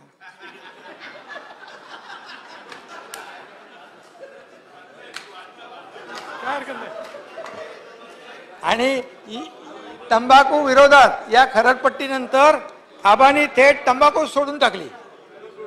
अजितदादांना शेतीची उत्तम माहिती आहे. त्यांच्या कामाचा झपाटा वाडी वस्तीतल्या आधार अडचणींवर मात करण्याची वृत्ती यामुळे ते मतदारसंघामध्ये विलक्षण लोकप्रिय आहेत. आता सात वेळा माणूस निवडून आल्यानंतर बोलतो अरे जाऊ दे आता बस झाला. पण सात वेळा सातत्याने निवडून माणूस जेव्हा येतो तेव्हा त्यांचं मताधिक्य वाढत जातं. त्याची लोकप्रियता वाढत जाते आणि ती अजितदादांनी या ठिकाणी टिकून ठेवली आहे. त्याबद्दल मी पुन्हा एकदा त्यांचं मनपूर्वक अभिनंदन करतो. समाजकारणात व राजकारणात यशस्वी होण्याची त्यांना कला अवगत आहे. अजितदादा यांनी आजपर्यंत आपल्या खात्याचा कारभार सांभाळला आहे व प्रत्येक खात्यात आपल्या कामाचा ठसा उमटवला आहे. कारण त्यांचा ठसा मजबूत असतो. कारण ते सकाळी सगळे यायच्या आधी एकदा ते पुण्याला मेट्रोचं पाणी होती. ते बोले किती वाजता? आहे बोले सात वाजता. अरे सातला मी चारला झोपतो. सातला कसं पोहोचणार तर सात वाजता त्यांची पाहणी दौरा मेट्रोचा. म्हणजे त्यांचा जो शिस्त आहे त्यांचं जे टाइम टेबल आहे शेड्यूल आहे एकदम त्याच्यामध्ये एक मिनिट पण इकडे तिकडे ते करत नाहीत. त्यामुळेच आज सगळे मंत्री कोणी येत नसतील मंत्रालयात. सगळ्या मी पण कधी जायचो कधी नाही. पण जर हजेरी घेतली तर सगळ्यात जास्ती वेळ मंत्रालयामध्ये बसणारा मंत्री हा अजितदादांच्याच रूपाने तिथे बसलेला आहे. अजितदादाने शेतीची देखील उत्तम त्यांना माहिती आहे. त्या मगाशी म्हणालो मी की वाड्या वस्त्यातल्या ज्या काही अडचणी आहेत त्या त्यांच्यावर त्यांनी मात केली आणि समाजकारणात राजकारणात यशस्वी होण्याची त्यांना देखील एक चांगलं त्यांना अनुभव आहे. अजितदादांनी आजपर्यंत आपल्या खात्याचा कारभार चांगला केला आहे. शासनाचा कारभार करताना प्रत्येक प्रश्नाच्या मुळाशी जाऊन त्या बाबतीत तज्ज्ञांचा प्रशासकीय अधिकाऱ्यांचा सल्ला घेऊन व सामान्य जनतेच्या हिताचा साधक बाधक विचार करून त्याची अंमलबजावणी करायची त्यांची पद्धत ही खरोखर एक वेगळी आहे. त्यांचा परखडपणा व निर्भीड वृत्ती त्यांचे नेतृत्व गुण महाराष्ट्राच्या राजकारणामध्ये अजितदादा यांनी आपलं एक वेगळं स्वतंत्र असं स्थान निर्माण केलेलं आहे. पुणे जिल्ह्यात त्यांच्या नावाचा दरारा आहे. दरारा त्यांचा सगळीकडेच आहे पुण्यात जास्ती आहे. ते आता त्यांच्याकडे कुठला अधिकारी दुसरा आमचा जाऊनच द्यायचे नाही ते. बोले इकडे नाही एकनाथराव इधर नाही इधर तिकडे बंदी. म्हणजे अधिकारी जे आहेत तिकडे अधिकारी जे आहेत काम करणारे अधिकारी त्यांना आवडतात. काम करणारे अधिकारी जो बेकाब म्हणजे आपल्या जबाबदारीला जर टाळत असेल तर तो बिलकुल त्यांना आवडायचा ना हे मी पाहिलेलं आहे. ते अगदी रोखठोकपणे सांगायचे बाबा याच्या बाबतीमध्ये हा अनुभव आलेला आहे. शेवटी अधिकारी जे आहेत आपलं जे शा शासनाचं काम आहे लोकांपर्यंत पोहोचवण्याचं काम अधिकारी करतात आणि म्हणूनच अजितदादांचा तो आग्रह असायचा. कुठल्याही कामाच्या संदर्भात दादांच्या राजकीय विचारांची घाटणी वागण्यातला स्पष्टोक्तपणा कुठल्याही व्यक्तीला राजकीय परिमाणाची परिणामाची व त्याच्याकडून होणाऱ्या फायद्या तोट्याचा राजकीय हिशोब कधीच त्यांनी केला नाही. आणि कुठली ती व्यक्ती चुकत असल्यास अथवा चुकीची वागत असल्यास त्याला परखडपणे त्याची चूक लगेच तिथल्या तिथं मिटिंगमध्येच मिटिंगमध्ये त्याला आपण थोडंसं तो मुलायचा बाळगतो पण ते काय एकदम ते बोलायचे बा इथं इथं एकनाथराव जयंतराव इथे चुकलंय तर ते चांगलं आहे कारण आपली आपली चूक कळते. आणि ती जी भूमिका घेण्याची ताकद आहे सगळ्यांमध्ये नसते. अजित दादा यांनी विविध शिक्षण संस्था साखर कारखाने सहकारी बँका दूध उत्पादक संघ ऑलिम्पिक असोसिएशन राज्य कबड्डी असोसिएशन खो खो असोसिएशन अशा विविध सामाजिक राजकीय व शैक्षणिक तसेच क्रीडाविषयक संस्थांवर विश्वस्त तथा अध्यक्षपद भूषवलेली आहेत. आज ते राज्याच्या विरोधी पक्षनेतेपदी विराजमान होत आहेत. ही त्यांच्यासाठी आतापर्यंतच्या खरं म्हणजे त्यांनी खूप मंत्रीपद सगळ्या गोष्टी हे केल्या आहेत. तरी सुद्धा ही एक प्रकारची विरोधी पक्ष नेता म्हणून एक नवीन इनिंग सुरू त्यांनी केली आहे असं आपण म्हटलं तर वावगं नाही ठरणार. विरोधी पक्षनेता पदावर काम करताना ते त्यांच्या स्वभावाप्रमाणे व त्यांच्यातील नेतृत्व गुणाप्रमाणे राज्यातील सर्वसामान्य जनतेचे प्रश्न असतील विधानसभेमध्ये सभागृहामध्ये त्याचबरोबर आग्राची भूमिका घेऊन सरकारला योग्य तो निर्णय जो आहे जनहिताचा घेण्यास आग्रह करतील आणि आम्ही देखील जे योग्य आहे सरकारला लोकांच्या हिताचं काम आम्ही करणार आहोत. त्यामुळे अजित दादा म्हणजे एक अजिंक्य अशी बोलू जयंतराव चालेल ना? पॉवरफुल शक्ती असं तुमच्या बाजूला बसलेली आहे. माझी त्यांची मैत्री आहे तसं काय प्रॉब्लेम नाही. तर यामध्ये विरोधी पक्ष नेते पदावरील जे काही शेवटी सगळ्यांनाच विरोधी पक्षनेता होता येत नाही. मी देखील होतो थोडे दिवस. थोडे दिवस होतो. तो काय विरोधी पक्षनेत्याकडे खूप एक सगळ्यांचा बघण्याचा दृष्टिकोन जो आहे हा वेगळा असतो. आणि आपल्याला सरकारच्या विरोधामधले किंवा सरकारमध्ये जी काही जिथे सरकार चुकत असेल तर त्या चुका आपण परखडपणे त्याच्या लक्षात आणून देण्याचं काम विरोधी पक्षनेता करत असतो. आणि म्हणून विरोधी पक्षनेता किती मोठ्या उंचीचा असू शकतो याचे उदाहरण म्हणजे अजितदादा हे ठरू शकतील एवढंच मी या प्रसंगी सांगतो. आणि तुम्ही पण होते ना उप विरोधी पक्षनेता तुम्ही तर सगळं अभ्यास तुम कायदा बिदा सगळं तुमच्याकडेच आहे. त्यामुळे एकदम अष्टपैलू. अरे जे खरं आहे ते सांगतो ना ते अभ्यास एवढा त्यांचा आहे की सगळे पुस्तकं आपल्याला वाचायला लागतात. त्यांना वाचायची गरजच नाही. त्यामुळे असे जे आता उपमुख्यमंत्री म्हणून माझ्याबरोबर मार्गदर्शक म्हणून काम करणार आहेत त्यामुळे तुम्ही समजून जा चांगलेच काम आम्ही करणार. मी देखील थोडे दिवस होतो ते जाऊ दे. शेतकऱ्यांच्या सगळीकडे बांधावर गेलो सगळे पण एक आहे की मुख्यमंत्री देवेंद्र फडणवीस साहेब होते. पण मी जिथे जिथे अतिवृष्टी काय काय व्हायचं पहिला पोचून जायचो तिकडे. पोचायचो तिकडे लोकांना मग सरकार यायचं त्यांना मदत मिळायची त्यांचा व्यथा ज्या आहे त्या दूर व्हायच्या. हे एक अनुभव आहे या ठिकाणी. सगळाच अनुभव आपण घेतलेला आहे मंत्री म्हणून पण. आणि यामध्ये मी अजितदादांच्याबद्दल आणखी जास्त काही मला बोलण्याची आवश्यकता नाही. विरोधी पक्षनेता म्हणजे त्यांनी सभागृह नेता म्हणून पण काम केले तिकडे आणि विरोधी पक्ष नेता देखील म्हणून ते आता काम करणार आहेत. आणि म्हणूनच मी आपल्याला मनापासून या ठिकाणी पुढच्या वाटचालीस खूप खूप या ठिकाणी आपल्याला शुभेच्छा देतो. आपल्याला एकच आहे तुमची पद्धत देखील आहे. एक घाव दोन तुकडे ही चांगली पद्धत आहे. जिथे खोटा आहे तिथे खोटा आहे. आम्ही सगळे डेअरिंग एवढी करत नाही कारण चार लोक दुखवतील. पण थोडं आम्ही त्याला वेगळ्या पद्धतीने सांगतो. त्याचं होणार नसेल पण तुम्ही डायरेक्टच सांगता हे होणार नाही बाबा. हे होणार आहे.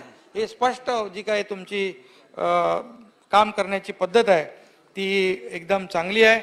आणि म्हणून एक घाव दोन तुकडे अशा पद्धतीने काम करण्याची आपली हातोटी आहे. नाहीतर शासन आणि प्रशासनामध्ये सरकारी काम आणि सहा महिने थांब असा जो काय अनुभव आहे तो तुमच्याकडे नसतो. हे देखील या ठिकाणी त्याला छेद देऊन काम करण्याची कार्यपद्धती आपली सर्वश्रुत आहे. त्यामुळे या पदावर विराजमान होताना सरकारवर अंकुश ठेवून सरकारला राज्याच्या सर्वांगीण विकासामध्ये मोलाचं मार्गदर्शन व योगदान द्याल अशा प्रकारची मी आपल्याकडे अपेक्षा व्यक्त करतो आणि पुन्हा एकदा आपल्याला मनापासून आपलं खूप खूप अभिनंदन करतो. शुभेच्छा देतो आणि जय हिंद जय महाराष्ट्र. अध्यक्ष महोदय सन्माननीय मुख्यमंत्री महोदयांनी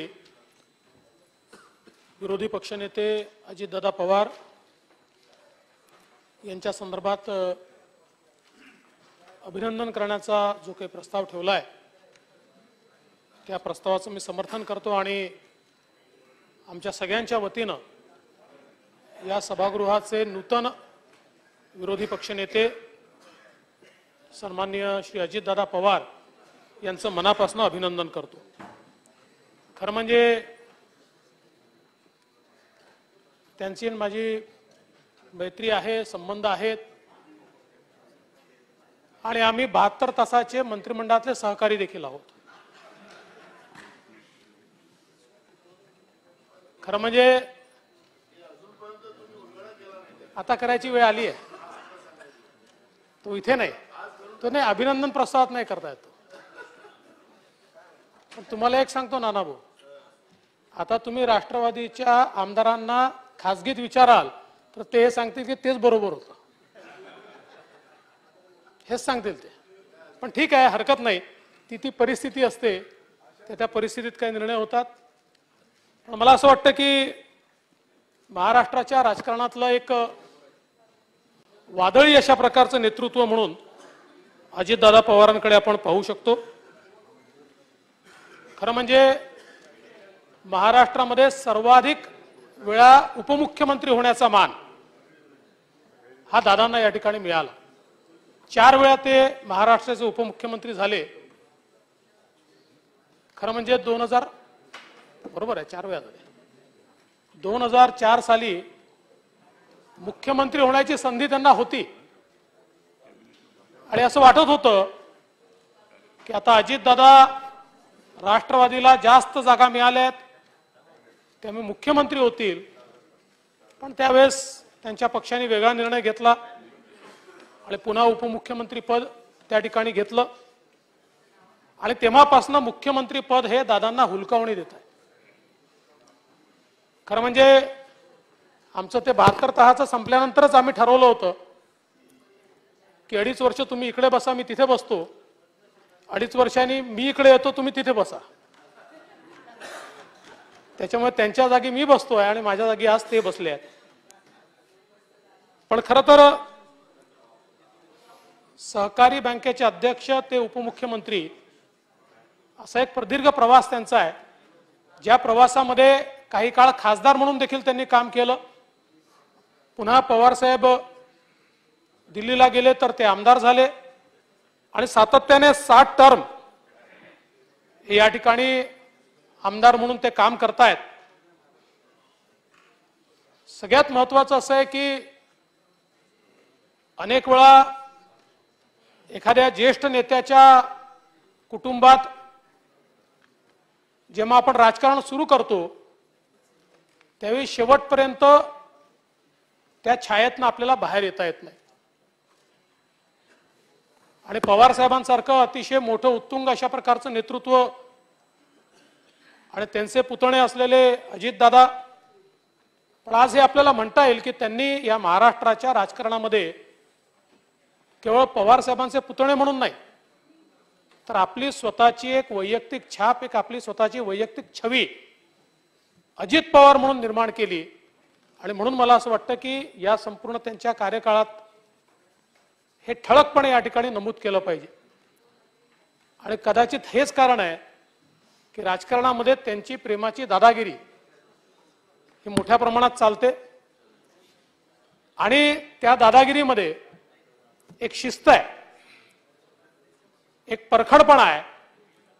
आणि त्यासोबत दिलेला शब्द कुठल्याही परिस्थितीत मोडला नाही पाहिजे. जे राजकारणामध्ये कठीण जातं परंतु ते मात्र या महाराष्ट्रात लोक सातत्याने या गोष्टीचा उल्लेख करतात की अजितदादाने एखादा शब्द दिला तर तो शब्द हा कधी मोडला जात नाही. खरं म्हणजे आमच्या राष्ट्रवादीच्या घड्याळाचे काटे जे आहेत ते दहा वाजून दहा मिनिटांनी स्थिर आहेत. पण अजितदादा वक्तशीर आहेत. आमची काँग्रेस आमची राष्ट्रवादी आहे. आमचे सुनील भाऊ.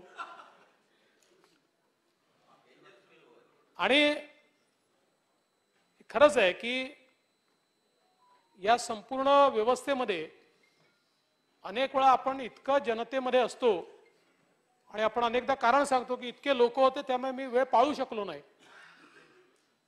पण किती लोक असले तरी त्या लोकांशी बोलून वेळेवर प्रत्येक बैठकीला दादा उपस्थित राहणार. त्यांच्यामुळे खरं म्हणजे मागच्या काळामध्ये मंत्रालय बंदच राहिलं असतं पण त्यांच्यामुळे ते उघडावं लागायचं. सकाळी सकाळी ते जाऊन बसायचे रात्रीपर्यंत जाऊन बसायचे. आणि अतिशय शिस्तीत सगळी कामं हे करताना आपण त्यांना बघितलं. आणि एक गोष्ट खरी आहे की साधारणपणे रोखठोकपणे कोणीही आमदार गेला काम होणार असेल तर करायचं होणार नसेल तर तो कुठल्याही पक्षाचा असो, स्वतःच्या पक्षाचा असो का दुसऱ्या असो त्याला तोंडावर सांगायचं की होऊ शकत नाही मी करणार नाही. आणि मला असं वाटतं की विशेषतः महाराष्ट्राच्या समाजकारणाची राजकारणाची अर्थकारणाची ग्रामीण अर्थव्यवस्थेची शेतीची अतिशय चांगली फर्स्ट हँड माहिती त्यांच्याकडे.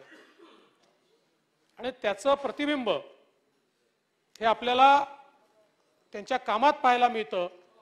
आणि म्हणून महाराष्ट्रामध्ये तळागाळात च्या लोकांपर्यंत पोचलेला नेता म्हणून एक त्यांची ओळख आहे. खरं म्हणजे त्यांचा आणि माझा जन्मदिवस एकच आहे. आम्ही दोघे बावीस जुलैचे आहोत. ते माझ्यापेक्षा ज्येष्ठ आहेत.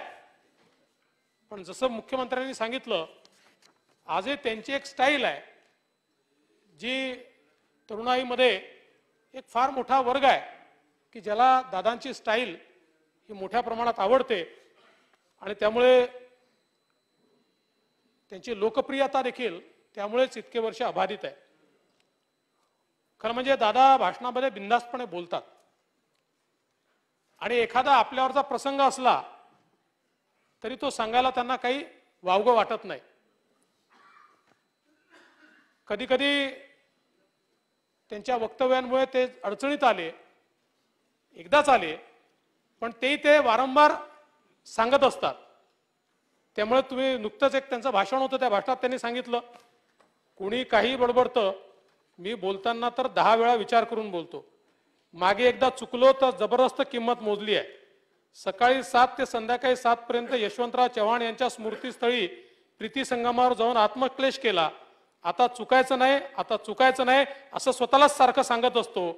तेव्हापासून आजपर्यंत चुकलो नाही. अशा प्रकारे भाषणामध्ये स्वतःच्याच संदर्भातला किस्सा अतिशय मोकळेपणाने त्या ठिकाणी ते सांगतात. आणि खरं तर आपण बघितलं तर त्यांचा जो जन्म आहे तो बावीस जुलै एकोणीसशे एकोणसाठ रोजी अहमदनगर जिल्ह्यातील देवळाली प्रव प्रवरा इथे त्यांच्या आजोळी झाला. आणि त्यांच्या आई प्रवरा येथील कदम घराण्यातील होत्या. तर पवारसाहेबांचे मोठे बंधू असलेले अजितदादांचे वडील अनंतराव पवार हे व्ही. शांताराम यांच्या राजकमल स्टुडिओमध्ये त्या ठिकाणी नोकरीला होते. दादांचे आजोबा गोविंदराव पवार हे बारामती सहकारी खरेदी विक्री संघामध्ये त्या ठिकाणी होते. तर आजी शारदाबाई या काटेवाडीतील शेती सांभाळत असत. शरद पवार साहेब त्यांच्या भाषणातनं नेहमी त्यांच्या आईचा म्हणजे शारदाबाईंचा उल्लेख करतात. तर त्याच माऊलीचे संस्कार अजितदादांना देखील त्या ठिकाणी मिळाले आणि म्हणूनच अतिशय सामान्य कुटुंबातनं वर येत आणि अनेक हाल अपेष्टा सहन करत त्यांनी आपल्या जीवनाचा मार्ग हा त्या ठिकाणी सुकर केला आणि त्यातनं एक चांगलं नेतृत्व हे त्यांचं उभं राहिलं. खरं तर एकोणीसशे एक्क्याण्णवला त्यांनी पुणे मध्यवर्ती सहकारी बँकेचे अध्यक्ष म्हणून त्या ठिकाणी पद स्वीकारलं आणि त्याच वर्षी विधानसभा निवडणुकीमध्ये भरघोस मतांनी ते निवडून देखील आले. या विजयानंतर कृषी फलोत्पादन आणि ऊर्जा राज्यमंत्री म्हणून त्यांनी काम स्वीकारलं. आणि त्याबरोबर या वर्षाच्या जून ते सप्टेंबर दरम्यान त्यांनी लोकसभेची निवडणूक देखील लढवली. आणि लोकसभेमध्ये त्या ठिकाणी ते निवडून आले आणि त्यानंतर खासदार बनले. आणि यानंतर मात्र दादांनी कधी मागे ओढून बघितलं नाही. सातत्याने बारामतीचे आमदार म्हणून त्यांनी काम केलं आणि पवार साहेबांच्या नेतृत्वात एक बारामतीचं मॉडेल देखील त्यांनी तयार केलं.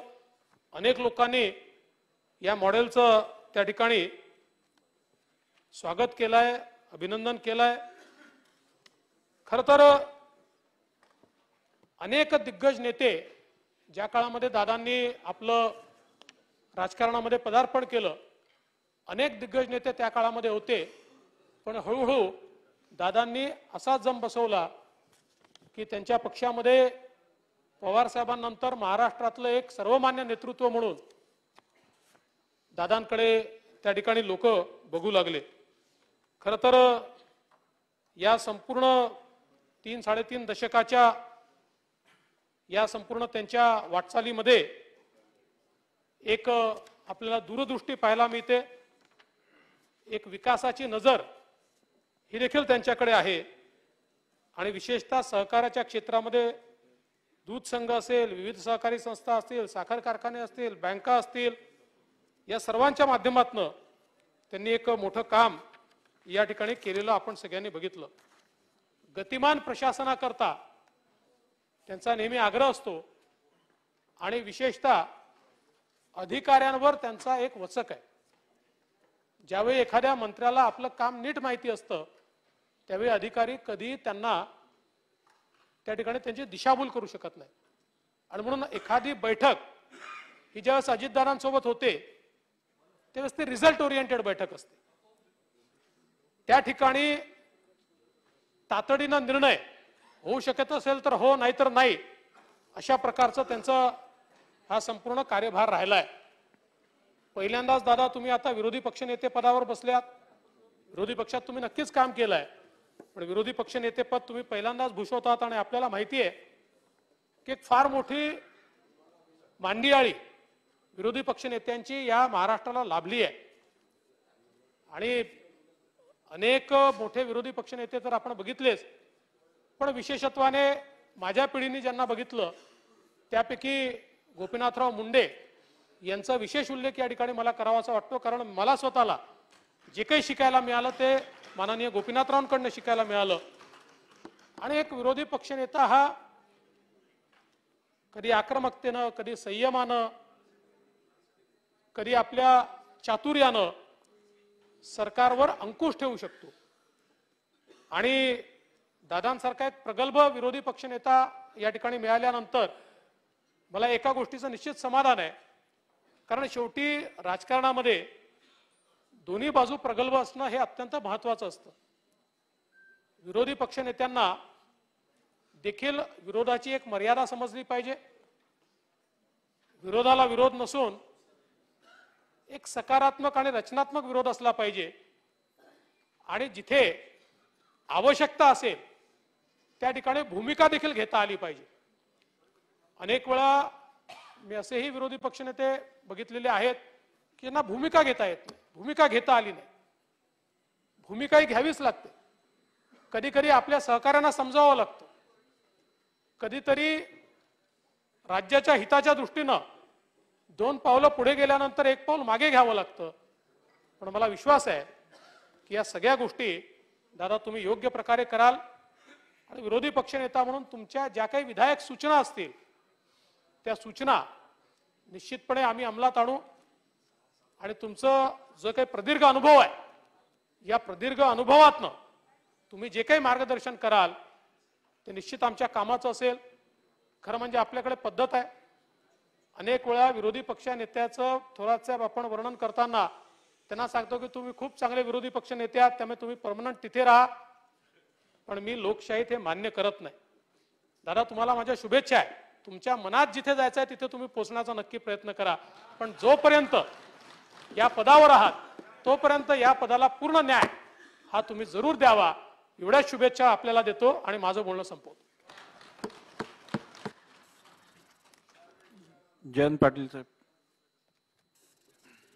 अध्यक्ष महोदय विरोधी पक्ष नेत्यांचा अभिनंदनाचा ठराव माननीय मुख्यमंत्री महोदयांनी मांडलेला आहे. त्याला समर्थन देण्यासाठी मी उभा आहे. महाराष्ट्राच्या विधानसभेमध्ये विरोधी पक्ष नेत्याच्या खुर्चीवर अनेक दिग्गज या ठिकाणी बसले आहेत यापूर्वी आणि ज्याचा उल्लेख